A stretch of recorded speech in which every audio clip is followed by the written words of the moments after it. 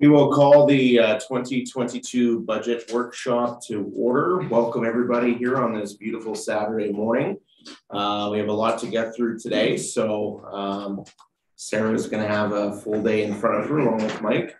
Um, so please, if you do have comments, please make sure that they're concise and uh, we'll try to get here out of here on time or maybe even a little bit early today. Uh, do ask that you do speak up uh, just so those listening online can hear you as well as uh, administration. Um, and uh, hopefully we'll have a good day. We'll be taking regular breaks.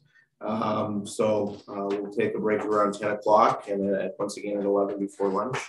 Um, if you do have a cell phone, please make sure it's turned off or on vibrate. And if you do need to take a call, please do so outside of chambers.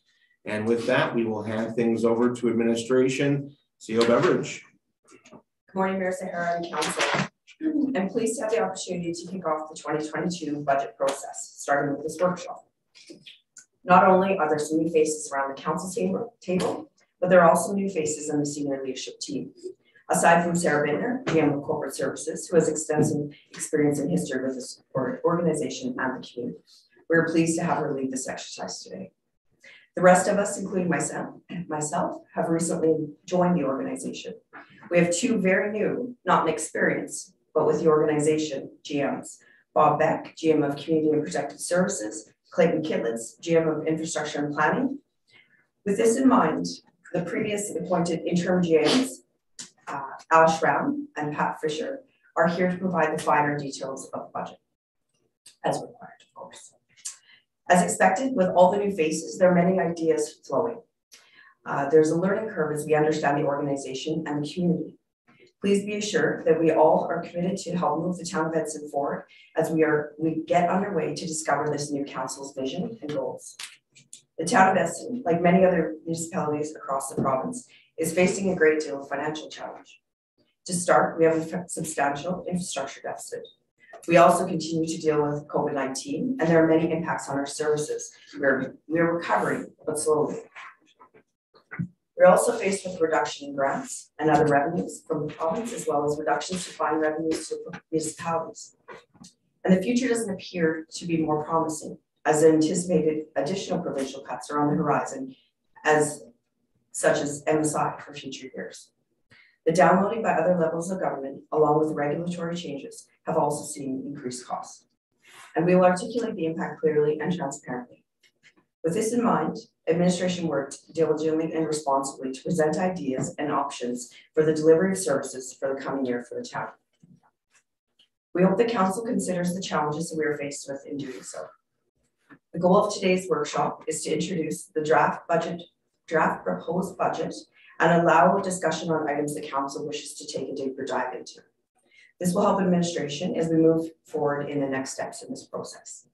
With that, I will hand this over to uh, Sarah Bittner, GM of Corporate Services, and Mike Passing, Corporate Services Manager, to lead council through the Town of Edson 2022 draft proposed budget. Thank you. Thank you, Sarah Beveridge. Um, welcome, Council, to Budget 2022. Uh, just a, a, uh, a slight uh, housekeeping issue. Uh, with the barriers up, um, sometimes I do have trouble hearing questions, so please don't be offended if I if I ask to repeat, or I may ask the mayor to uh, clarify for me. For some reason, I can always hear him. Um, I think it's the radio voice that he uh, he brings to the table. Uh, right, so moving on. So this just quick going through the schedule today.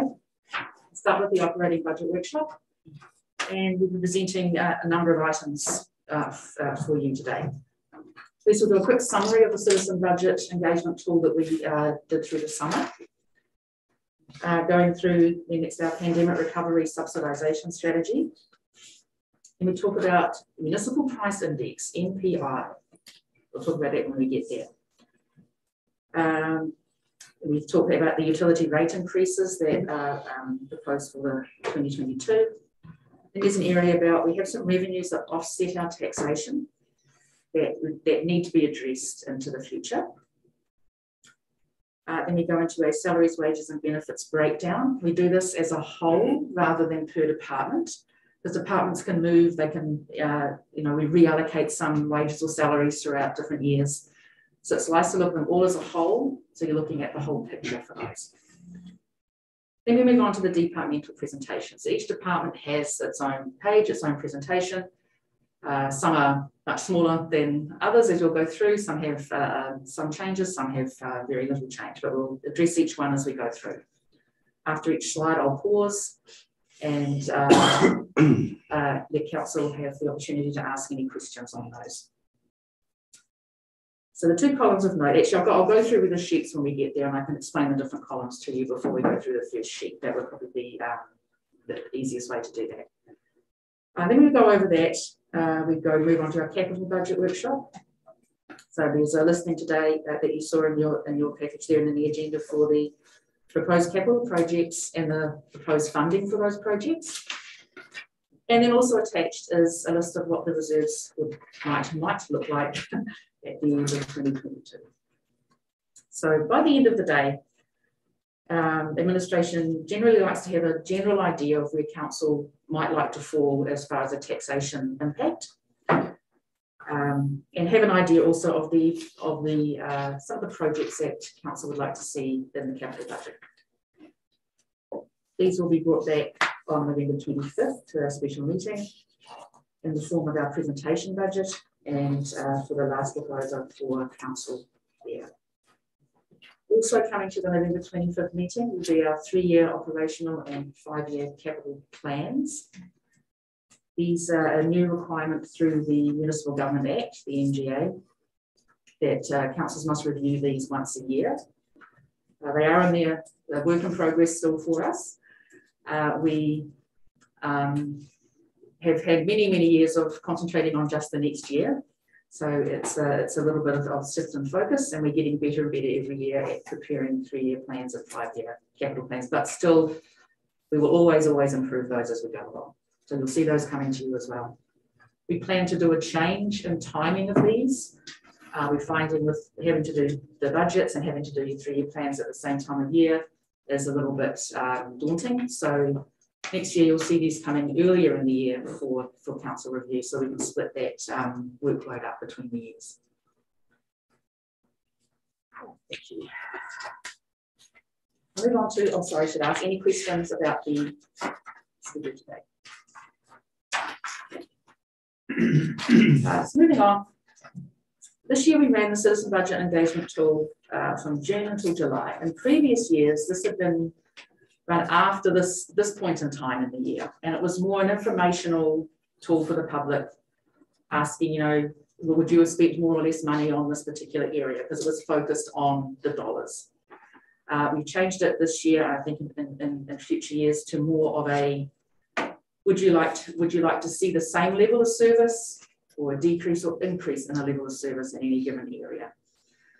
Uh, so this year we had 114 responses, which was up from 85 the year before. Every year we've seemed to have gone up each time. Uh, we do send out notification on all the utility bills for this. Um, we um, put uh, adverts on social media, not just our page, goes in the paper.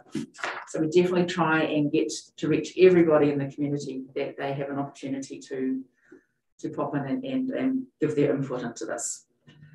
So let's see, for each area we asked, would you like to see a higher, lower, or the same level of service? And the summary for the results that we had. Um, these were the areas that we asked uh, information this year on whether the, uh, they would like higher, lower, or same level. So obviously the bolded percentages are the, the ones that had the uh, majority. Um, as you can see, most of the areas, uh, the majority of the uh, I'm sorry, the majority fell within the, the uh, levels of service the same category. Uh, the two that were outliers, uh, community development, the majority was a decrease. Um, still not quite 50% though, but it was a decrease. And again, for roads, was an increase again just shy of, of uh, the 50% mark there. So we've just incorporated these in as a, uh, a, uh, a summary of what happened with that engagement tool. So does council have any questions on this?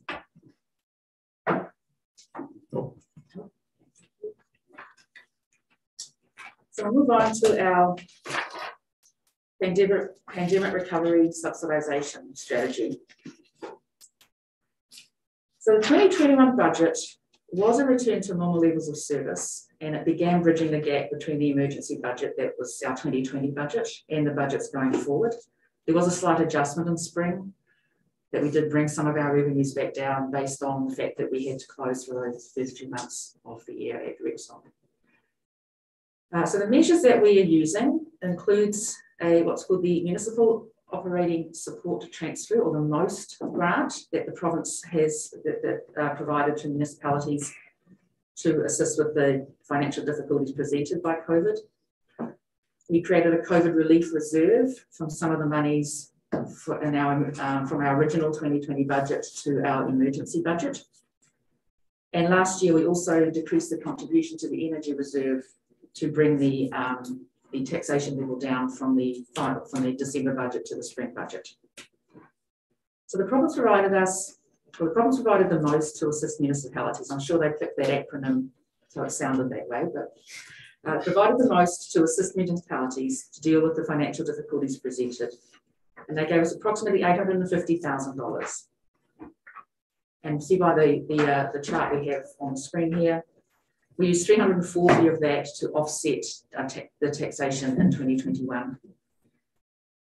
And we were reducing that over the next few years um, until that, is, um, that has been used.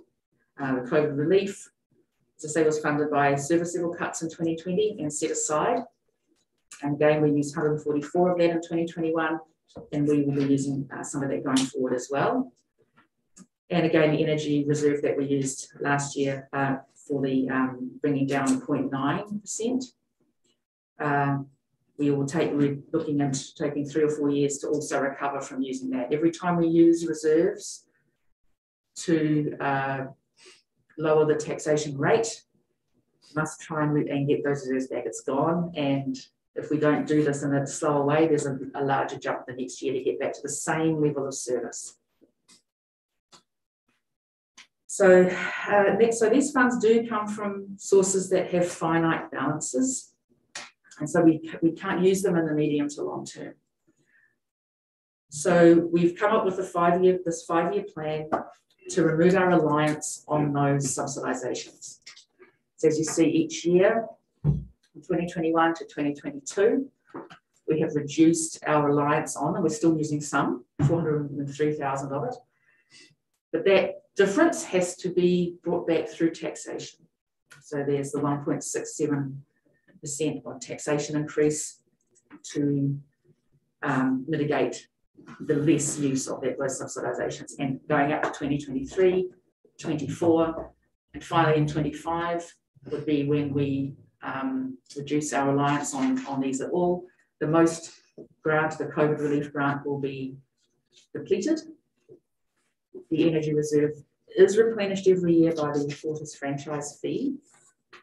Uh, but I also know we're looking at doing more energy projects and putting that towards um, the, the intent of that reserve. So any questions on the pandemic recovery?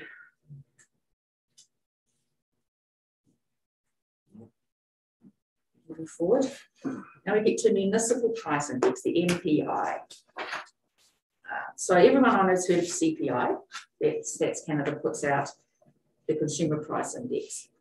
So this looks at um, inflation for the consumer. So it includes things like food or clothing, that type of those types of purchases. Uh, in recent years, we've been looking into what's called the municipal price index, which looks at the inflationary uh, effect on goods that municipalities purchase. Uh, we've uh, piggybacked on Edmonton's. They have their Department of Economists, I'm sure, so we've uh, we've uh, sort of piggybacked on using theirs.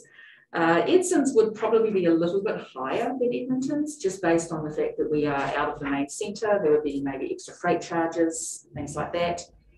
Um, and uh, if we've learned anything from Facebook, we know our fuel prices are always higher than Edmonton's. Uh, it's sort of done, you see that every year. Uh, so those types of things would come into play into if, if we did our own MPI. So going through the graph, we have the dotted blue line at the top there was Edmonton's original MPI forecast. So that's the one that we were looking at and, and, and sort of gauging against. Uh, along came 2020. Now the solid blue line is their new forecast for MPI going forward. So as you said, has dropped um, considerably, especially at the, at the, at the far further end of the graph there. The solid green line is the town of Edson's um, actual reality, what we're doing with, with, our, with our taxes at this time. As you see in 2020, we had the big dip.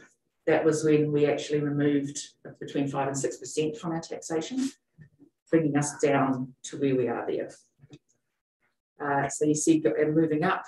Um, so the dotted green line is where we would have been more or less probably without COVID to keep the same level of service that we've had.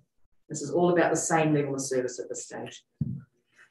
So you can see the difference between the, the solid green and the dotted green is really the subsidizations that we are using to help offset those. Uh, at the far end of the graph, you'll see the, the dotted green and the solid green actually meet. So this is what we, uh, we call our good news graph. This is actually good news if you're looking at this this way.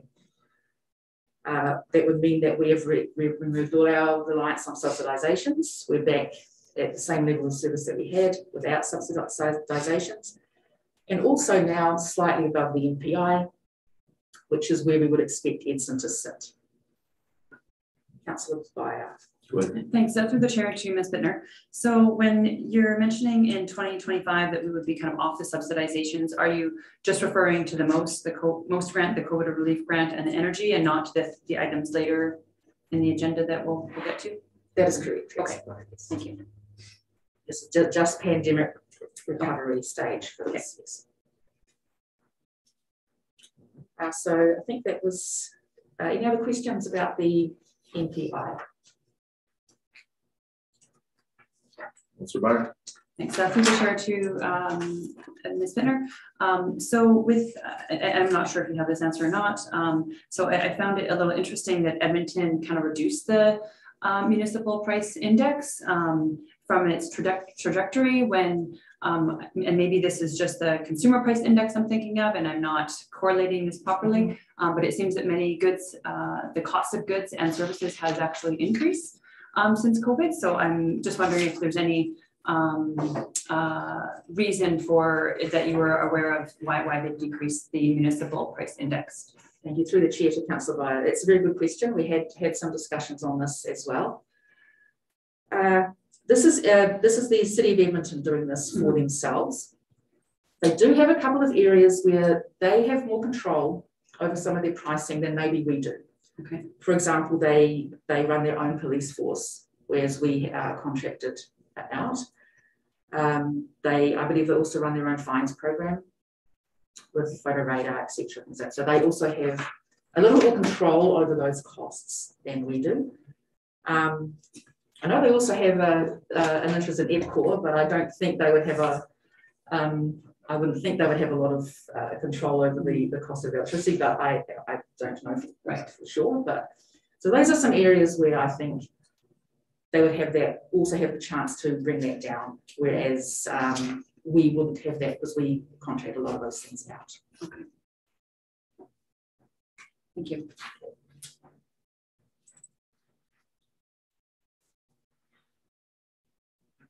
Right, so move on to some of the, uh, the figures within this budget. So the 2022 budget today is presented with a 4.99 taxation increase to the base budget. The base budget is just the same service levels that we had last year. Uh, we do have some other items, additional budget requests, etc., um, brought forward today and that actually takes that to a, a 7.74, including all of those additional budget requests. Uh, but we're concentrating on the 4.99 for now. The breakdown of that is shown in this table. You'll see in the, in the graph at the side. The green part of that graph is what we've called the obligations. And these are items within this budget where they have external influences. So there's very limited, um, there's, there's a limited amount that the town can do for these particular items. So you'll see we have the electricity is going up. Um, that's the, to the tune of around hundred and nine thousand dollars. Our policing contract is going up, um, based on their new, um, agreement. And this is just for twenty twenty, uh, at a tune of hundred and fifty thousand dollars. A photo radar contract, uh, it was the budget for twenty twenty-one had been based on some trends, and we did have a year in that trend that was very low. So this was inadvertently dropped in twenty twenty-one, but to meet our contract obligations, we need to add uh, seventy-five thousand back to that budgetary line. Uh, the wages are also led through our collective agreement with the union, so they are set uh, based on that agreement. And then we do have some other obligations, for example, insurance rates are going up. We've, uh, we don't know what they are exactly yet, but we've uh, uh, allowed for a percentage there. We have contracts that we've signed that go up each year, for example, our, our assessor or our auditor or those types of um, uh, consultants that we use. So all of those things that um, through contracts, etc., are also included in our obligations. So of the four point nine nine, that makes up three point three two four percent of that. Uh, I'll go through the whole lot and then I'll open up for questions. Um, so the next part of, of the four point nine nine is our decrease in subsidizations that we've spoken about. Uh, so the, the slowly reducing our reliance on that is uh, this year adding one point six seven three of part of that four point nine nine. And then we have other, or everything else that is, that is there is the, we have our salaries and benefits at uh, just shy of 1% there, based on our uh, compensation policy that was passed earlier.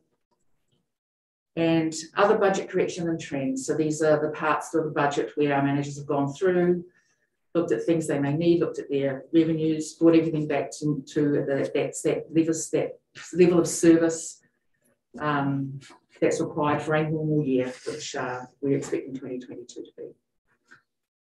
So those together make up the uh, 4.99%. So any questions on that? Councillor Warren? Uh, to the chair through to Ms. Bittner, the policing, is that, uh, is that, uh, taking into account the, uh, increased wages for the RCMP? Through the chair to councillor Moore. It is for 2022. This does not at this time address the retro retroactive pay that may be still coming our way. So this is just the increase for the, the new rates for 2022.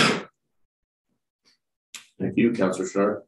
Hi, uh, through the, um, your four point nine that we're predicting and we're taking out subsidies. So when we're looking back from last year, we were subsidizing five, so we were actually eight or nine.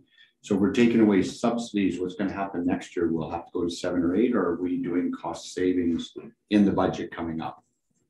Through the chair to councillor Srinat, um, can we, we bring back the, um, let's run through this again. I may not have explained it. I was gonna ask it then, but I thought it was premature. So This, this table on the screen here, Yes, this shows how we're slowly reducing those subsidies. So it's one point six this year, next Mhm. year it will be a one point zero nine eight, the year after that at one point four. So to do that, we're slowly reducing that reliance. If we weren't to do that and kept those subsidies in, there would be a year to get to that same level of service where there would be a large jump in taxation. right, and that's what I'm saying, because I look So up there at the most where we say three hundred and forty, well, that's three point four percent tax and two point five percent, one point seven. So if it's three hundred and forty thousand we're subsidizing, that's almost equal to three percent. So I added over here, you know, then we're looking at eight, eight and a half, and I, and I totally agree, the last few years where we held taxes due to COVID, sooner or later, we gotta pay back. You know, so that's where I was looking, so four point nine, if we can move ahead with that, that's a realistic number to make up for the shortfall for previous year, so. I just thought I'd point it out, uh, more questions as we dig into it deeper. Thank you, Councillor Taylor, and then Councillor Pasychny. through the chair to Ms. Bittner. Uh, I noticed throughout the, the budget, I see, you know, increases in insurance, is that, um, are we dealing with one company for insurance or do different areas, say policing or different areas deal with different insurance companies or different, different types of insurance or things like that? Through the chair to councillor Taylor, we actually uh, have our insurance through, um, I'm going to use an acronym and I, hopefully maybe Sarah Beveridge knows what this is for, AMSC. So I know, uh, uh, sorry, we got so used to some acronyms. It's actually a, a branch of the AUMA, the Alberta Urban Municipal Association, thank you. This is a branch of that, uh, where all the municipal, all the municipalities, all the municipalities that are using it, we pull together, so all our insurance is done as a pool. Uh, so that actually helps with um, if one if one municipality has something happen one year, the recovery of that is spread over the the entirety of the the members of that uh, insurance. Thank you, Councillor Pasychny. Through the chair, Ms. Bittner, is it still the one percent tax increase generates about hundred thousand dollars still, or has it changed? Uh, through the chair to uh, Councillor Pasychny, at this time, uh, one percent get uh, generates about one hundred twelve thousand now. Yes. My numbers are. Wrong. All right, thank you. Continue on.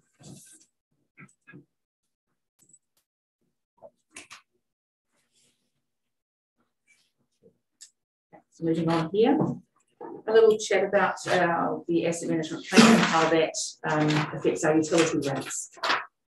So the asset management plan, we here say AMP, was adopted by council and it recommended an increase in utility revenues for water and sewer of one point, oh, sorry, 2.2 and 4.4 respectively annually for 20 years.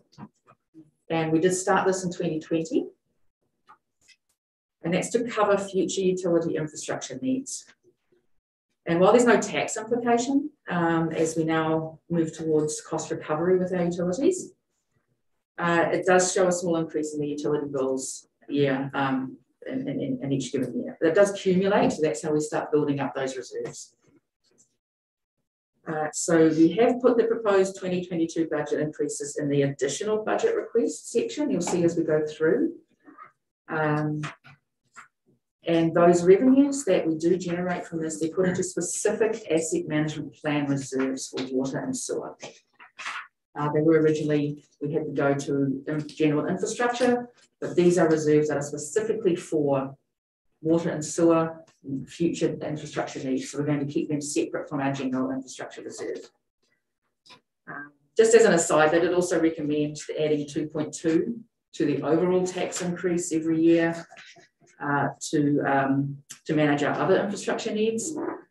Uh, we don't address this directly at this stage. Um, we, a, we recommend to focus on um, what's actually coming up on the next slide, our revenues offsetting taxation, um, as that would also help build our reserves as well as um, reducing our reliance on those operationally. So with our utility rate increases for this year, uh, so we do strive to operate on cost recovery models for our utilities. And so under this model, the operational cost, um, it becomes necessary to adjust the operational, um, sorry, operational costs make it necessary to adjust the rates to ensure that those, those extra costs are recovered. So that the uh, presented 2022 budget proposes the rate increases as you see on the screen as, as follows. Uh, so you see we have the 21 rate, the operational increase. This, these are in um, dollars per cubic meter. So it would be an operational increase of seven cents. The AMP increase for water would be three cents, bringing that to the 2022 rate of $1.31. Uh, and then you see on the far right the average annual increase to a bill based on 20 cubes per month. It's, uh, um, it's an average amount. And again, for sewer, um, going forward, waste collection is a contract we have with an external company. Uh, so that's, we just, we need to increase those rates to recover the increase in that um, contract. Uh, stormwater is a relatively new addition to our utility bills. We're trying to, um, at the moment, storm is incorporated in our, in our roads and transportation budget.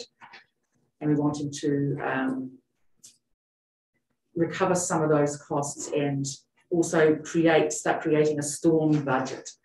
We don't have enough information yet to do that, But last year we removed some of the taxation and put it into the utility bill, just to show that stormwater is part of our utilities that we need to address. And the recycling is also a contract with an external organisation. So overall, for a residential house with an, an average use of twenty cubes per month, would be a yearly increase of sixty-five dollars. And for non-res, it would be a yearly increase of fifty-seven.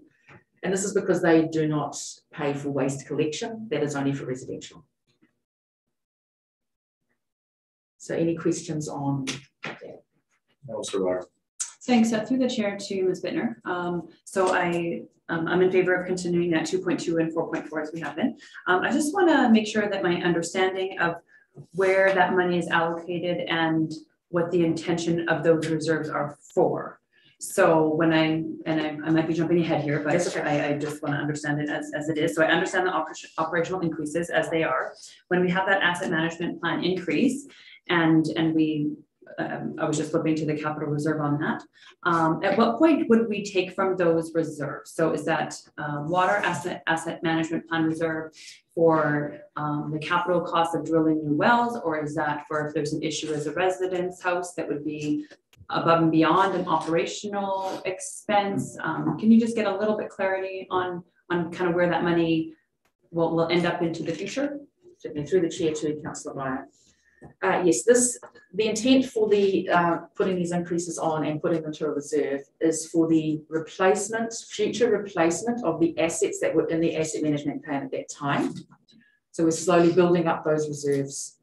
And you'll see when we do get to reserves, the, the, the- they are listed in the capital reserves on page eighty-eight uh, as two separate reserves. So you'll see those grow over the years, but this is to be used for the assets that were in the asset management plan at that time, I believe it was two thousand eighteen or nineteen, that um this was brought in. Uh, so it is, as it, it should be only for replacement of those assets in the future. Councillor Sharad. Um, just a clarification, the, the last number, so the twenty-four hundred dollars for water, that's twenty-four hundred dollars per year to their bill, so two bucks a month, is that correct? Like on your last column where you said, and so if you use the average amount, like you're saying, then your bill per year will go up twenty-four dollars a year, correct? We've That's listed them separately, but your bill entirely for all of the new utility rates would go Yes. up sixty-five dollars a year. Per year, okay. Yes. The other one I'm unclear on, and I'm, I'm gonna ask it, recycling non-res, what is that? Through, oh, sorry, through the chair to councillor Sharad. Uh, recycling depot is available to everybody in town. The uh, non-residential use it a lot for cardboard, Okay. um, those types of things. So when we changed to the, the uh, contract with the, um, it's a recycle depot. Uh, to recover those costs, we've now put that cost on, um, basically every, every utility bill in town. Because everybody has the opportunity to use the recycle depot. Um, I based the, the split between the, uh, I had some information from the manager at the recycle depot. And I based the split on, um, what was given to us based on what was a commercial volume versus residential volume. Okay. Yeah, I would just want clarification, thank you. Thank you, uh, Councillor Bar. Thanks, uh, through the chair to Ms. Bittner. On the stormwater, which we just recently, I believe we introduced that last year, um, I have in my notes that that um thirty-five thousand dollars um generated annually for every one dollar on utility bill. So last year we would have generated seventy thousand dollars. So if if this is going into the operating budget for stormwater um management, is that um the required amount that we would normally um, need for annual maintenance, not the capital portion, because I believe that's separate, but is, is this considered full cost recovery or how far are we from that actual number? through the chair to, to councillor Beyer. Uh, we are doing a, what we're doing now within our, our roads operational is tracking the cost for storm. Um, we've done, I think, for maybe a year or two, but we'd like a little history on exactly what it does cost for the operational costs for storm. And then we would like to pull that out into its own area, its own little department. So you see roads and storm as a separate department. And then we can look at the cost recovery of that um, through, through, through the, through the utility bills if, if council so wish. Uh, Just a point of clarification, oh, go ahead, Councilor Pasychny. It's more of a question on process and it's to you. Um, this is a workshop. Um, we don't have motions on the table and we're using through the chair, back to the chair, and it's gonna take a lot of extra time. Um, and you maintain order without having to go through the chair. Absolutely. So would it be possible just to have a workshop? Yep. Thank you. Um, so just a point of clarification for the new members of council. Um, the reason, one of the reasons why we have, uh, we move stormwater out of taxation into utility bills is we have a number of properties in town that do not pay taxes. But still have to benefit from that service. So when you hear us talking about removing things out of taxation and putting on utilities, is to ensure places like the provincial building and other assets in our community that are not currently paying taxes actually are contributing to the cost of delivering services in our community. Um, this one here in particular uh, came after the government decided they didn't want to pay taxes on the building, so. uh, Leave it at that, move on. Any further questions on the um AMP or the utility rates? Okay.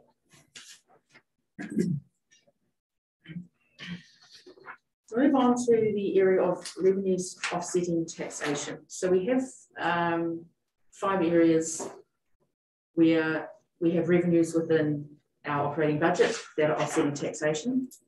Um, the first three especially, these are ones that if these revenues were to discontinue in any given year, would face a, a large increase in taxation to maintain that same level of service. Probably gonna hear me say that quite a lot today.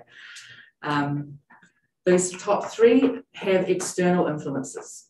These are things that um, could could disappear, if you like, um, based on on external uh, forces. The the bottom two, number four and five, uh, sorry, water and uh, the ATCO are internal ones that we can address internally.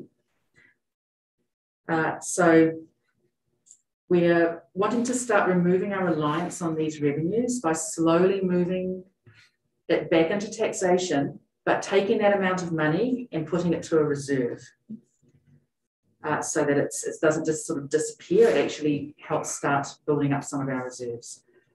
Uh, so as, as we as uh, we said earlier, one percent taxation gives us around one hundred and twelve thousand.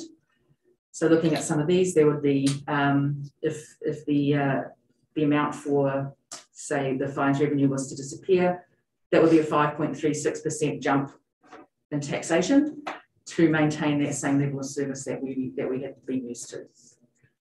Go ahead, Kristen. Uh, thanks, Sarah. Can you just elaborate um, what fines you're talking about? Is this photo radar fines or is this um, fines uh, for bylaw enforcement? Um, just to have a kind of better picture of what that what that looks like. Maybe- Uh, certainly, Councillor Byer. Uh, these are these are fines that I was trying to think through my um, books here. Hang on. Yes, this would be the um, fines uh, generated through photo radar. Uh, there would also be if, if the province were to change any of their, for example, with this one, uh, we used to, the province uh, decided to take more of our fines revenue away, and there was a couple of years ago, it might have even been 21, I'm not exactly sure, where we had to drop our revenues um, based on that, and that was a provincial decision. Um, so if, if that if that was to come to pass, if they were to decide that again, then this would be um, the drop that would occur. Thank you. Go ahead, guys. Go for it. Go. Oh, okay. Um, through to Sarah, what I'm looking at is like, and I totally agree, like the six hundred thousand for photo radar and the two hundred thousand for the doctor's office. Right now, presently, over the last few years, we put a million dollars into our future building fund. So I'm not sure exactly where that money come out, it come out of the taxpayers. So if we're gonna move in that direction, how about if we start saying the six hundred thousand and the two hundred thousand indefinite? That money we will allocate to a savings. So if it disappears, it doesn't change tax.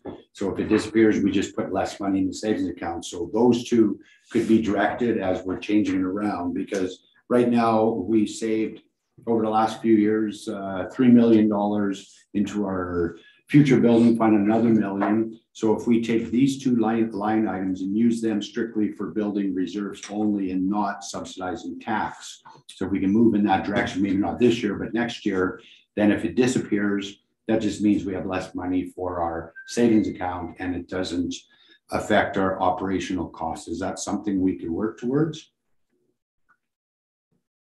Um, So the money that goes into, sorry, councillor now, the money that goes into the, uh, are you talking about the, the future? Yes, that is correct. Thank you.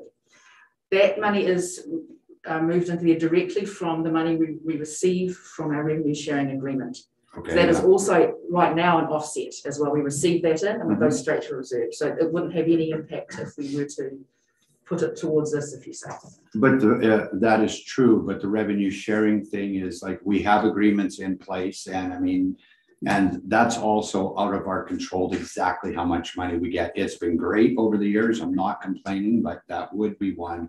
So what I'm thinking is where we're building money for that, take them directly out of these two unknown funds that could disappear tomorrow and use them for building a bank account. Okay, so you're proposing that we increase taxes by. s- No, Well, what I'm, what I'm actually all right, proposing. Schneider, we have a lot. to go Okay, but um, just so I, I- so I'm clarifying on what I'm proposing is saying, we're saying the six hundred thousand we get from photo radar, which is up in the air, is five point three percent. But somehow we take other money, so the money in, you know, use this money only to build a savings account. In, it doesn't have to happen this year, but our future plan is the two unknown revenues, the two hundred and the six hundred. Whatever that money is goes into savings. Councillor Taylor. Sorry, um. uh, So you're saying that this entire, all five of these things, one, one point seven million, all of it goes to operation, correct? Okay, second question, the public health facilities rent revenue, that is the, that is the doctor's office. We have the, uh, we have two, uh, we have the doctor's office and we also have a, a residence that we share with Yellowhead County. Uh, for medical personnel to, Oh. um, to rent within our community. Locums and new doctors. Okay. Thank you. All right, So any other questions? move on. So now we move on to our review of uh, salaries, wages and benefits for twenty twenty-two.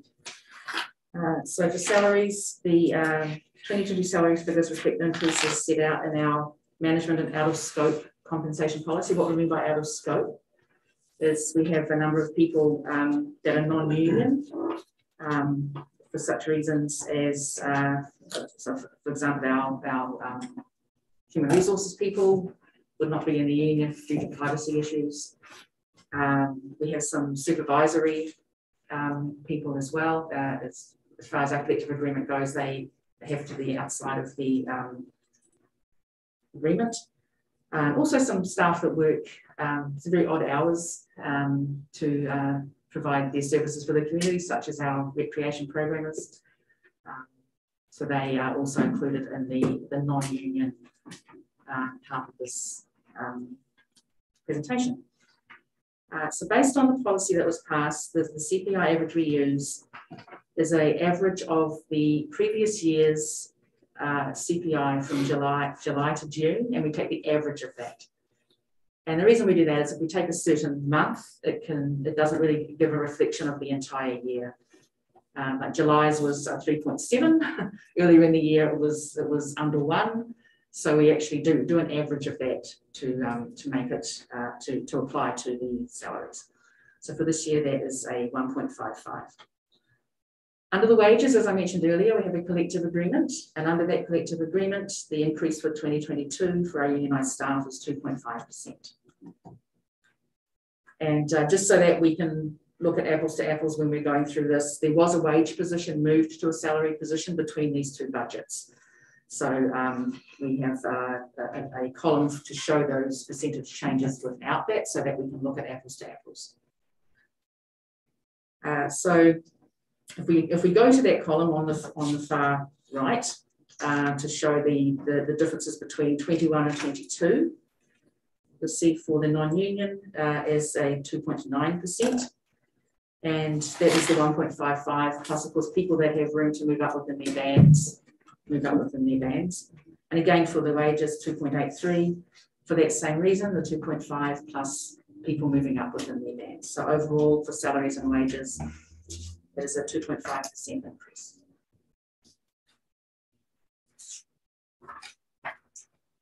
Any questions? Councilor Pasychny? Uh, I'm gonna be honest, I'm a bit challenged. Um. Hearing questions on services, services, services, cut, cut, cut services. Um, if you go to our financials, and you don't have to go very many years back. Community used to spend about six million dollars on wages. We're at nine million dollars, that's three million dollars, hundred thousand dollars is a thirty percent tax increase in wages. Um, uh, nine million dollars is, is a big chunk, and I, I guess the biggest question I have in this is when you say we have to cut services, uh, which services would be cut? And, uh, then- the test of burden on that would be if they're cut, who would be affected and who would notice? So uh, maybe whenever he says we're out to cut services, because it's, it's, it's a question that's always thrown at councils that we'll cut services, we'll cut services, and it's a bit of a threat. So I'd like to know what services are cut. Um, we're high in wages for a community this size with our, with our equalized assessment. Um, our non-union wages almost match our unionized wages. So I guess maybe I'm, I'm looking for efficiencies. Um, we, we, we're challenged with it, and this is the, I've gone through all the financials for the last seven years, and the biggest increase I've seen in everything uh, has been wages. So maybe, maybe explain to me which services, because we always say, oh, same level of service, but which service would be the same level of service. So I need to know what, what would change if we were to, to decrease, like where would we, where would we cut if we were to cut? And maybe as a council, we can analyze that and say, are we willing to cut that? Because I, I- I'm always challenged by it, so. Fair enough question. Uh, Ms. Bittner? Uh, service level cuts, I think, would be, um, purview of council for the levels of service. Uh, I can explain the, the, the policy that was brought in through last year. Um, with, with a review of our current levels of, um, compensation. Uh, we were below, um, some, some of our staff were below the uh, 50th percentile within the, the region, within the province of uh, similar sized towns. Um, and that was why we, uh, we brought in a policy to start to slowly work towards um, having everybody at least at that 50th percentile. There were some that were higher, um, but there was um, a policy that was, that was passed to have us start working towards that. I mean, Mr. Um, I, I don't think I'm challenged by bringing our staff to fifty percent up. I, I don't think, uh, I think to be competitive and to, to maintain staff, I think my biggest challenge is, is um, have we reviewed our departments? I mean, we went through the matrix on orientation day and, you know, like, we have a lot of layers. And for me is, okay, do we need four people in there?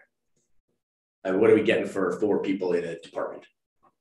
But like, that to me is more of the challenge is, you know, like there's, there's departments in this town, and I'm not gonna pick on any single department, but I know there's departments we used to have one employee and have the same level of service, and now we have four.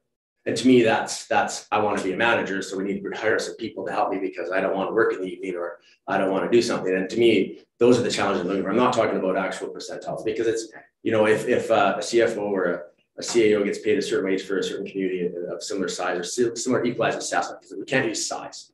Um, because communities the same size may have double our assessment, which means they have double the taxation power that we have. So for me, it's, it's how we looked at our internally, because if we overstaff our community, um, then what happens is we have no money left to put the tar on the road, right? You know, and that was told to us in orientation. I said, why didn't we finish tarring? Well, we ran out of budget. So there's a challenge. We, we can't just have all these staff if they have nothing to work with. So I- I'm, I'm looking for efficiencies and not level of service kept, but where can we become more efficient? And, and to me, that's, that's the thing that's challenging. So, Sure. and it's not about the fifty percentile because people deserve to be compensated for their, their career path, but it's not, it's more of, do we have too many people? Uh, CEO Beveridge? Uh, thank you, Mr. Mayor. Um, we went through an exercise in preparation for this workshop and um, to understand what the changes have been. Um, because looking at financial statements, um, you know, yes, there has been increases. Uh, what we did was also look at, um, what's changed in the organization, what's changed in the structure, as you've noted, there's, there have been changes over the years. We went back as far as, uh, to two thousand sixteen, because with our financial system, that was as far back as, you know, was kind of within our reach very easily. And our changes have been, um, you know, it's actually interesting. Um, we've had some offsets uh, with with union, you know, as Sarah mentioned, changing from salary, from union, etc., and some some adjustments. But in two thousand sixteen, just for an example, and I'll just use numbers versus percentages at the start. So in two thousand sixteen, there was twenty-five um in total uh as far as. uh, Sorry.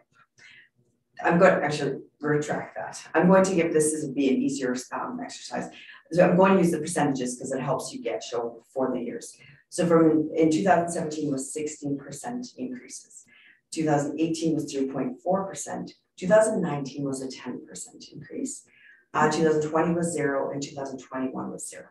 So what I want to just kind of go back to is that um, we're looking at, um, I would say this group is looking at our efficiencies and that's the kind of lens we are evaluating is when we're, when we're looking at the service levels and to be fair, the council sets the service levels and we'll be asking this council to set the service levels so we know where to go and we can make adjustments uh, where we see fit. Um, one of the things is, is that as we, as we grow as an organization, as a community, every time we take something on, there is someone particular, you know, and for an example, um, has to manage that. And I don't mean manage, just operate or maintain. So adjustments have been made to the community over the last five years, six years, uh, for sure, as far as things that we've taken on. We'll use Vision Park as an example. We've taken that on. That takes, um, you know, operations to manage that. So we, we are looking at the actual data when it comes to um, our, our salaries and, and our headcount. Um, you know, we, we are very much um, wanting to ensure that we do have the right level, uh, the amount of, of staff to manage. We're asking ourselves the hard questions. Do we need to do this? Do we need to continue to do this? And I would suggest that um, in this short time, um, you know, that I've been here as well as now, um, Jim's, this is a focus area for us. Also point out too that uh, I do recall that we had to add two staff to the wastewater treatment plant as a part of our operational requirements there. I think that was in twenty, I don't know what, twenty nineteen. Yeah, so um, there's been some pressures there as well, but anybody else have any questions? Uh, Councilor? Thanks. Um, Councilor Pasychny, that's something that I've been thinking a lot about too, and um, I, I don't know where all the, the numbers come from, but I know with the increase in using of computers, um, I know the first year that I was on council, you know, we had to kind of um, add, you know, add a position to to manage that because, you know, without managing that, we can get into huge problems. And um, I, I don't know what all the, you know, the individual uh, staff members that have been increased, but I, but I have recognized that um, you know, without having an HR manager, things turn quickly into chaos in an organization, right? You know, all these things have to be managed uh, or, or dealt with, I suppose, in, in some fashion. Um, and doing it on the side of desk hasn't been optimal. Um, and, and we've seen that. Um, reviewing it, I think is fantastic. I, I think it's a great question. And, um, you know, I'm interested to hear more about it. Um, but I have recognized that there are some positions that um, you know, regulations have changed. Um, you know, government, uh, from what I've heard, uh, you know, things have changed with that as well. So, you know, that they're asking us to reduce red tape, but in fact, they're adding so much more on that we have to have more people to manage the red tape that they've asked us to reduce. So it's like it's just it, it it's kind of crazy um, to think of it that way, but that that's how I've been understanding it, and and it, it's certainly frustrating um, because you know we haven't been able to increase our tax base, but but we but with changes in you know the government and society we we still have to manage these things. And and having someone do it on the side of the desk we've you know I, i've learned anyway so i shouldn't say we i've learned that that is not attainable um, for years and years. Someone can do that for a little bit but it it doesn't work out long term and, and i've seen the you know some neglect of that um, which you know it, it's a challenge. Uh, Um, okay, um, Yes, we need to review the wages, but to answer Councillor Pasychny's question, some examples, what we've worked with, and last, last two years have been weird because COVID, our numbers are all skewed because people work from home that. But some things we looked at, as example, we were cutting grass, which is a savings in areas that didn't need to be mowed as often.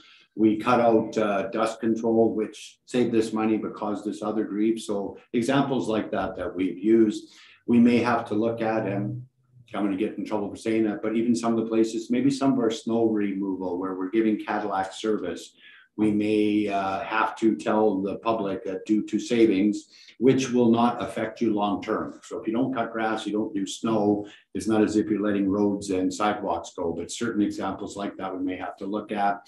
And I believe uh, when we go to our re- retreat or something, that will give administration time so we can look at each department. I know exactly what Council Pasychny is talking about. Yes, we had to increase staff like the water sewer treatment plant, certain areas, but other areas we have to look at because I would agree too. We need to look at how much money our assessment is versus the amount of staff. And we always hear rumors and right or wrong, we're too top heavy. And maybe we need to re- review that. And then what I like about the review, we can silence them to say, maybe we are not too top heavy. We just need to prove that all these people are of value. Uh, CO Beveridge, uh, I'm sure you want to respond. Um, I also want to comment, I think this is why we need to do a prior, priority-based budget model. Uh, because I think that would flush out, you know, where the priorities are and where the resources need to go. Go ahead. Uh, Mr. Mayor, I was going to mention that, so thank you. Um, I did, I apologize for my, my blunder earlier as far as the counts. Um, I just wanted to just give a picture because headcounts, I understand, um, you know, during our, our uh, orientation, we talked about them a little bit. We do have the numbers.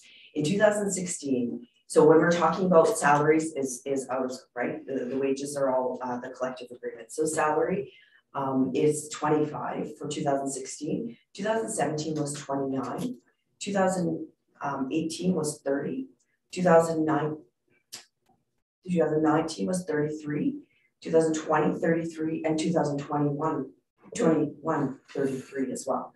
So uh, adjustments if you will like so as far as headcounts and adding to maybe adjustments per se and that's something that we are looking at but i do um, you know that definitely has been on our minds as far as um, really aligning our budget towards uh, working towards that priority based budgeting is something we'll be talking about in the near future. All right, um, so I think this would be a perfect time for a break. Um, and then we'll move on to our next section. The next section.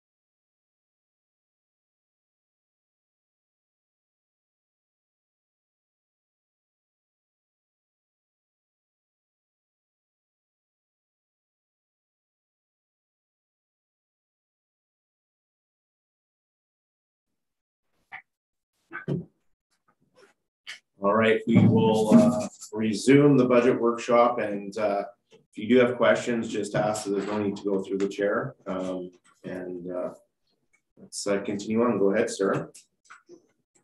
Thank you, Mr. Mayor. So now we go on to our departmental level. There's quite a number of them, but as I said, some uh, uh, are fairly, will be, will be fairly quick.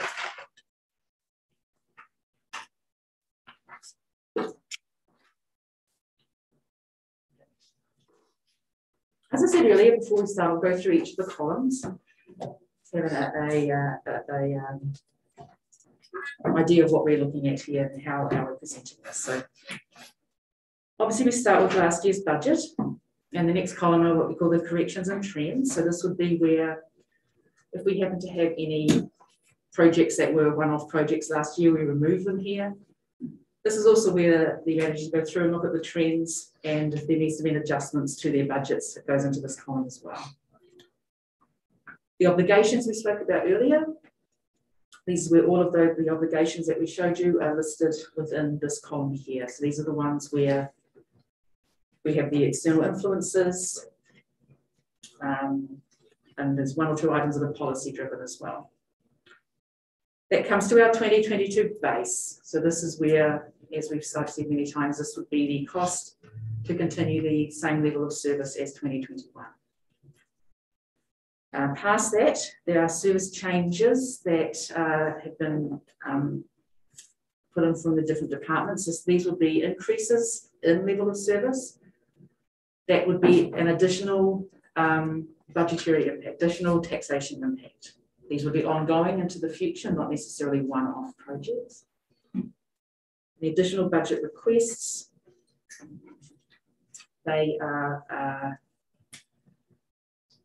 uh, other items that um, the, the, different departments have requested, and I'll go through those as we go through because there's a number of different variations within um, the additional budget requests. And then that comes to what we call the 2022 budget column. This one then includes all of everything to the base as well as the additional items that we've just spoken about. So moving on from there, the first one we have up is what we call our fiscal page. This is where we look at our, our taxation uh, requisition payments, um, and some um, fiscal items like uh, franchises and um, items like that. So uh, within the taxes, these have just been entered to show um, the different levels of, of the, how the taxes will go up to um, incorporate A to the base budget and B to the, uh, the other budget, the, the budget. Uh, revenue sharing, we've um, dropped our expectation down of by about 500,000 just based on trends, based on the last few years. Uh, it's been um, a little lower than 4.5. So under the concession and franchises, you'll see under over on the um, obligations column. This is the, we spoke about this at council a few weeks ago and uh, council set the rates at the same percentage rates. So this is actually the, the increase in revenue from that rate that was set at that council meeting. So there's been an increase of 137,000 from our franchises. Uh, we've also added 50,000 to our other revenues, um, just based on our investments for the last probably 10 years. uh, interest rates haven't been great and our money has been just in our general account, getting more interest than it could have reinvested, but uh, that's starting to change and we're investing a bit more money, so we're hoping to get some more revenue there. Uh, so moving down, I'm not going to go through every line on every page either. This is just the, uh, the, the fiscal one here. Um, as you can see, we have our transfers from reserves, and that's the, uh, the, the drop in the reliance on those subsidisations that we spoke about earlier. Um, and then our transfers to reserves of the uh, 4 million we're predicting to get, looking under, sorry, the base column here, of the 4 million we're predicting to get from the Yellowhead County Revenue Sharing, 3 million to the Revenue Sharing Reserve, 1 million to the uh, Future sort of Culture Centre Reserve, as we have done historically. Uh, the Energy Reserve uh, has a, uh, we're replenishing a little bit back from those subsidisations that we looked at as well. as well as thirteen thousand going into the energy reserve. This was based on the amount within our policy that we had, the one point five five we mentioned at the council meeting. The line below that, I've called it franchise fee reserve. This is not at all where it could, it can stay, it can go um, elsewhere. It's just for a placeholder here. The hundred and twenty-three thousand is the extra revenue generated by keeping those rates the same as was passed at the council meeting a couple of weeks ago. So this is money that is coming in um, additionally to what was uh, listed in our policy. So I've set that in a separate line. You'll also see it as a separate reserve in our reserve sheets. Um, so this is this is the extra money that was generated from the franchise fees um, for councils uh, to uh, to um, discuss the the home for that, I suppose. There were many uh, a few things mentioned around the table for the use of that, so I've just put it into one place for now. Just on that, Sarah, I don't know, just, this is just my opinion, but I think both those franchise fees should go into the energy reserve. Um, we have a lot of under, underground burial that we need to do, we have a lot of other infrastructure we need to do, and I don't know, it just makes sense to put both of those in the same reserve. That's just my thought. Um, I, uh, go ahead. Yeah, I, uh, I like that idea as well. Um, we look in the Mary Bergeron, um, by uh, Park on Lodge. Uh, lots of work needs to be done there that uh, hasn't been done. Uh, and that money would be great to, uh, to be used there. Okay, uh, uh, Sarah, on where we are putting the three million into the uh, multiplex and a million into the future civic slash culture center, that would, if we put the million in, there would be four million in that fund, and if I'm understanding right, we could transfer the four million out and put it into the multiplex if there- there's a cost overrun, would that be correct? Because like we're, like it's four million going into building fund, I fully understand that. But now we're splitting and we're going three and one. So now the second one would have four million dollars, if I understood the figures in the back, after we put the million in this year. That four million could be moved to the multiplex, correct? Yeah, in, any reserve can be adjusted through council and, and used to fund uh, the projects they wish. We have some reserves that are set and they must be used for the purpose they are um, made for.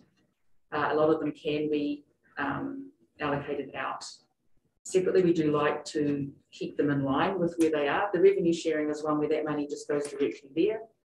Um, and uh, it, it is up to council how they, they use some of those reserves. So to make my, just so my question simple, they're both for the same purpose, so they'd be very easy to add to one project. No, Uh, Councilor Sharp, the revenue sharing is not going to. No, no, no, no, but what I'm So- looking at, revenue sharing says that we put three million into the multiplex. You know, It's not going in the multiplex anymore? multiplex is a separate reserve, we already have that funded. Right, but then where's the three million going? It goes into that reserve and then council allocates it at the end of the year. Okay, so the other four million putting over there can be transferred, because I fully appreciate when you put money into savings allocated for a project, for something, you can't just take it out. But both of these savings accounts are indirectly connected together, could be used for either or. Uh, based on the funding for the multiplex, that is, we have a reserve set up for the multiplex that has the required funding in there. Correct. As of now. But if we're gonna have to borrow nine million, we could borrow five and take four and put it over and borrow less, is the question I'm looking at. If council so desires, yes. Okay, my question's been answered, thank you. And also the uh, decrease in revenue sharing amount based on downwards trend. What is the, what is the calculation towards that downwards trend?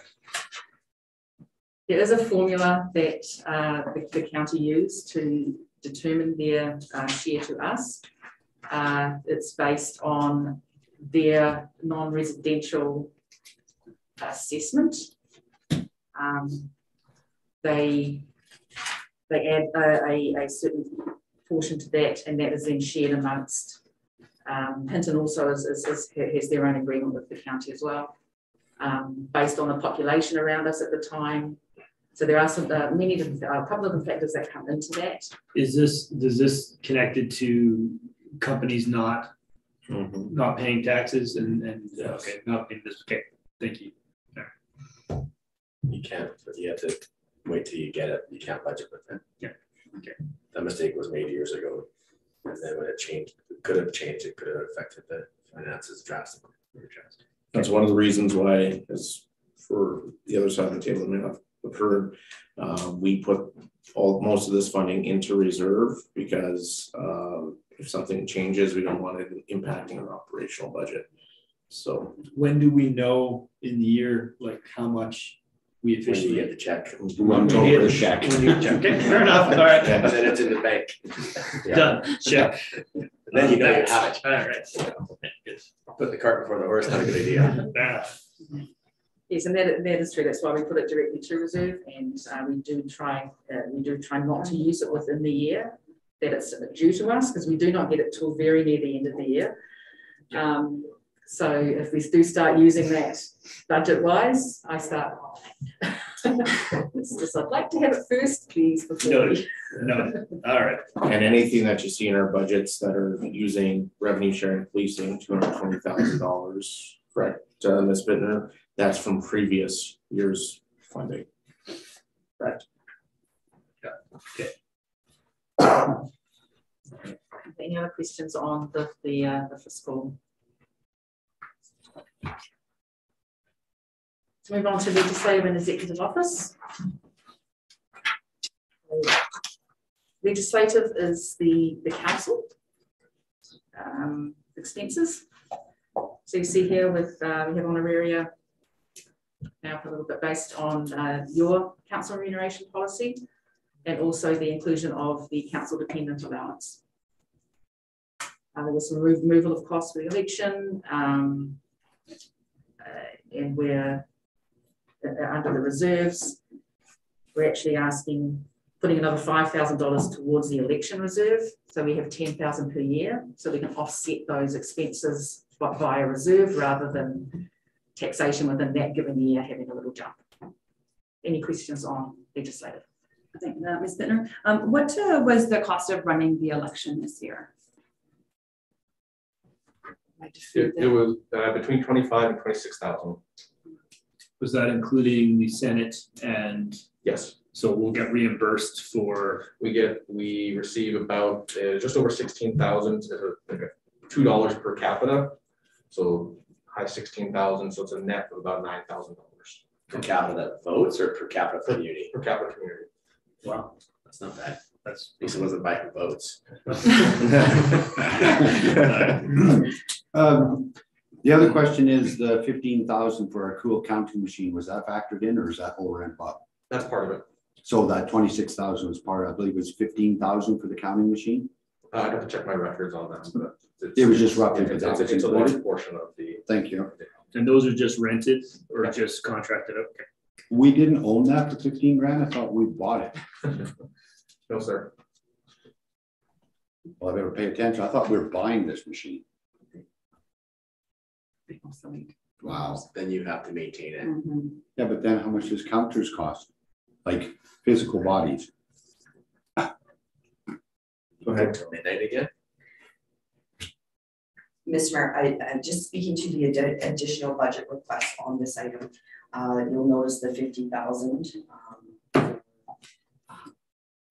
Right, Thank you. Okay. I. I, I just wanted so to make sure the council is aware, we do have the fifty thousand dollars as far as for council tech, uh, for tech for this, for this room, uh, to be able to, um, provide uh, microphones for each of the council members, um, also, uh, and I'm fine with this, uh, as well as, uh, cameras that do shift to each individual speaker when they're speaking, um, and as well, if I'm missing anything else, Those are the main ones. So yeah, we've been working with uh three different companies to get some quotes together and we should have that shortly. So the idea is also to be able to um be able to transfer it. It's one of those things where sometimes we have the opportunity and need the opportunity to be able to move to another facility in order to host, uh, for example, public hearings, etc. It's happened in the past. And so being able to actually pick up and go is something that I wanted uh, included in this quote. It's something we might have to remove out, but it's something I'd like to understand where we're at. So um, it's, uh, we are in the process, so right now the, the quotes are coming in, but uh, in, in that range of, of fifty thousand dollars. So you're telling me I'll finally have my own mic? I've never had one. Everybody, before, so I'm everybody gets forward- them but you. I'm looking forward to it. As you see, I'm always. Does it include a mute I was gonna say. that's- I hope so. Perfect. I just, um, sorry, on the, uh, the election, uh, so you said it cost about twenty-five, twenty-six thousand, so why are we gonna put ten thousand dollars a year? Cause that'll be forty thousand dollars by the end. Uh, with elections come other expenses too. Um, we need to legislatively put on the orientation sessions. They have some expenses. There may be some expenses for um, additional uh, resources that are needed for a new council as well. So we're trying to also mitigate those by not having them come in in, in, in that cyclical way as well, and always being able to be funded from the reserve. If we don't use it all, that will stay in, in that reserve. Okay. Uh, and just some further feedback, uh, that, that I've heard is, uh, people really like the advanced vote date, but they wish there was more than one. So hopefully we can plan for that for, for the next election, because I think that was well taken advantage of this year as well. Certainly. Yes, I had, thank you, Sarah Beveridge. I had uh, omitted to uh, address that line. So if I do, if I am asking to move on and there's something else, just point at the screen now. I'll, I'll know, I'll what I have to do. Uh, so now I will ask any other questions from the legislative.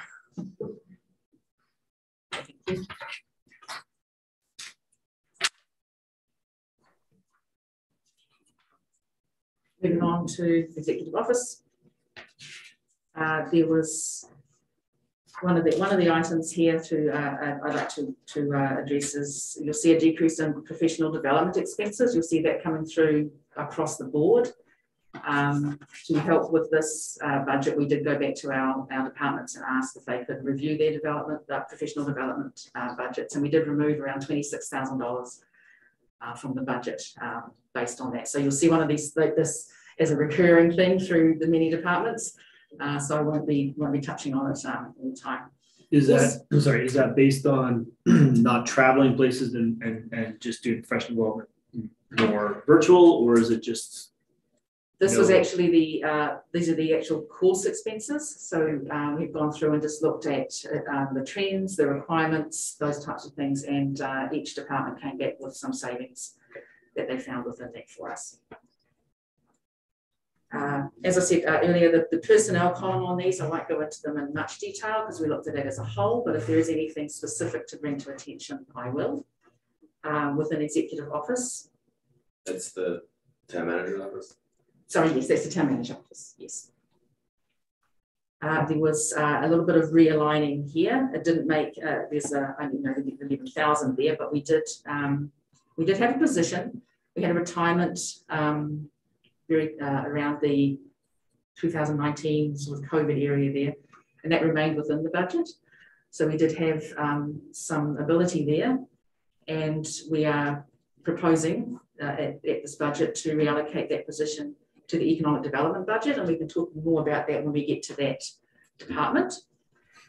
Um, also with some re- redistribution of uh, our staff and some of those uh, areas that go back. We do have uh, a few areas that are a one-person department. so if it came to pass that uh, that personnel line actually gave way um, uh, for privacy issues, um, because it's only a one-person department, we have uh, moved um, those salaries into uh, the executive department here. So that's the uh, the difference there with the personnel. As I say, I'll only address that if there's something different within the personnel. So in the, in the, so this reflects how many personnel? Including the one that doesn't really belong in there. Uh, this re- this reflects. I don't have the. Oh, sorry, I'm sorry, uh, council position. I don't have the the, the the counts for each department. Okay, that's okay. Um, and then are in some of these budgets, are we allocating like other departments' expenses towards it under personnel? Like, so. Like, like accounting has to create them a payroll, so they assign some of their budget towards them, is that correct? That is correct. Yes, uh, you'll see there are It's some not other. true reflection of wages in that department, that's like multiple different things to get allocated. That is correct, yes. We try and look at, um, at our areas and get uh, a, a really good, uh, uh, understanding of what an area costs us. So there are, are many positions that are, are are scattered through many different departments, um, to get to that. Can we uh get that information sent out to us afterwards in terms of how many personnel in this department? Yes, we, uh, we will be able to get that for you for sure. Thank you. Uh, and then the other thing I think of note for executive office is we have decided to centralise our legal fees. Uh, the legal fees were within the departments that that may have related to.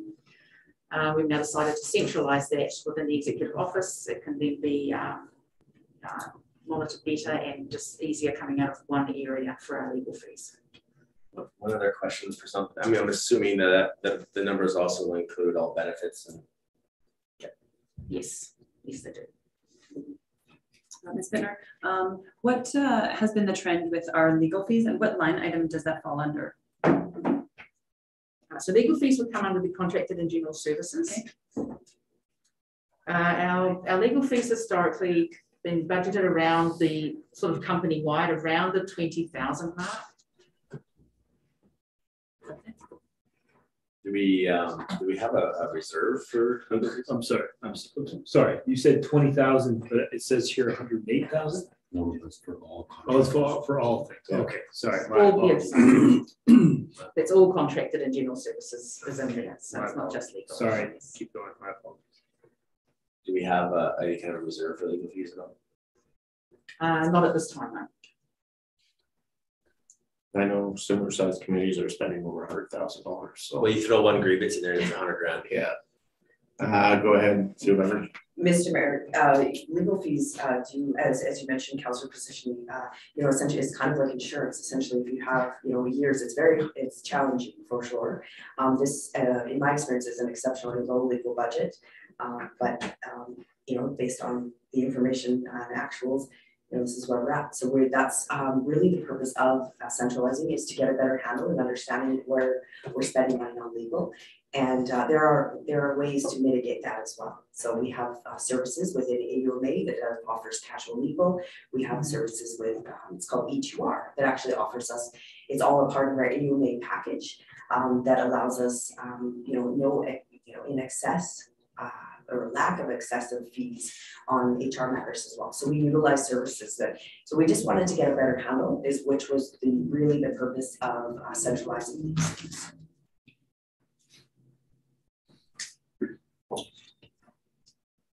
Any further questions on?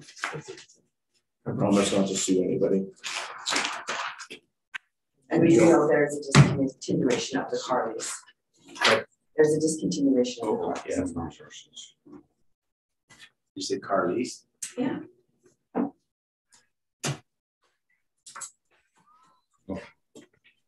Are you not getting, are you getting an allowance then? We have a corporate pool. For vehicles. Alright, Going on to um, human resources.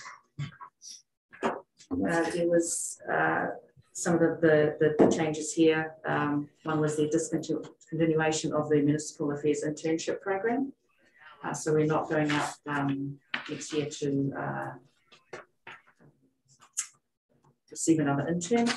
Uh, some of those, so those uh, rather we are reallocating those um, expenses more towards um, our existing staff.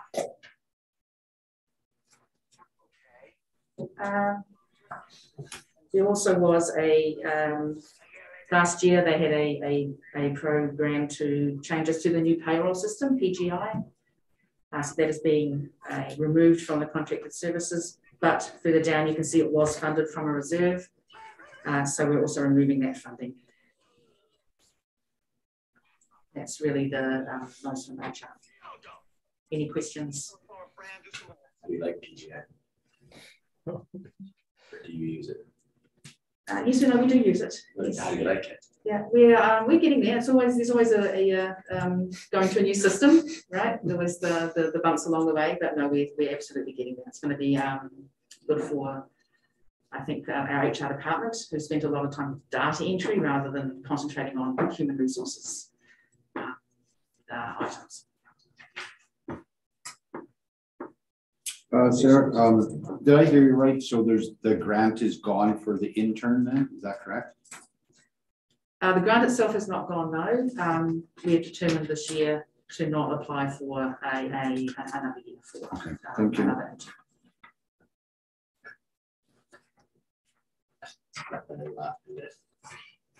Continue on.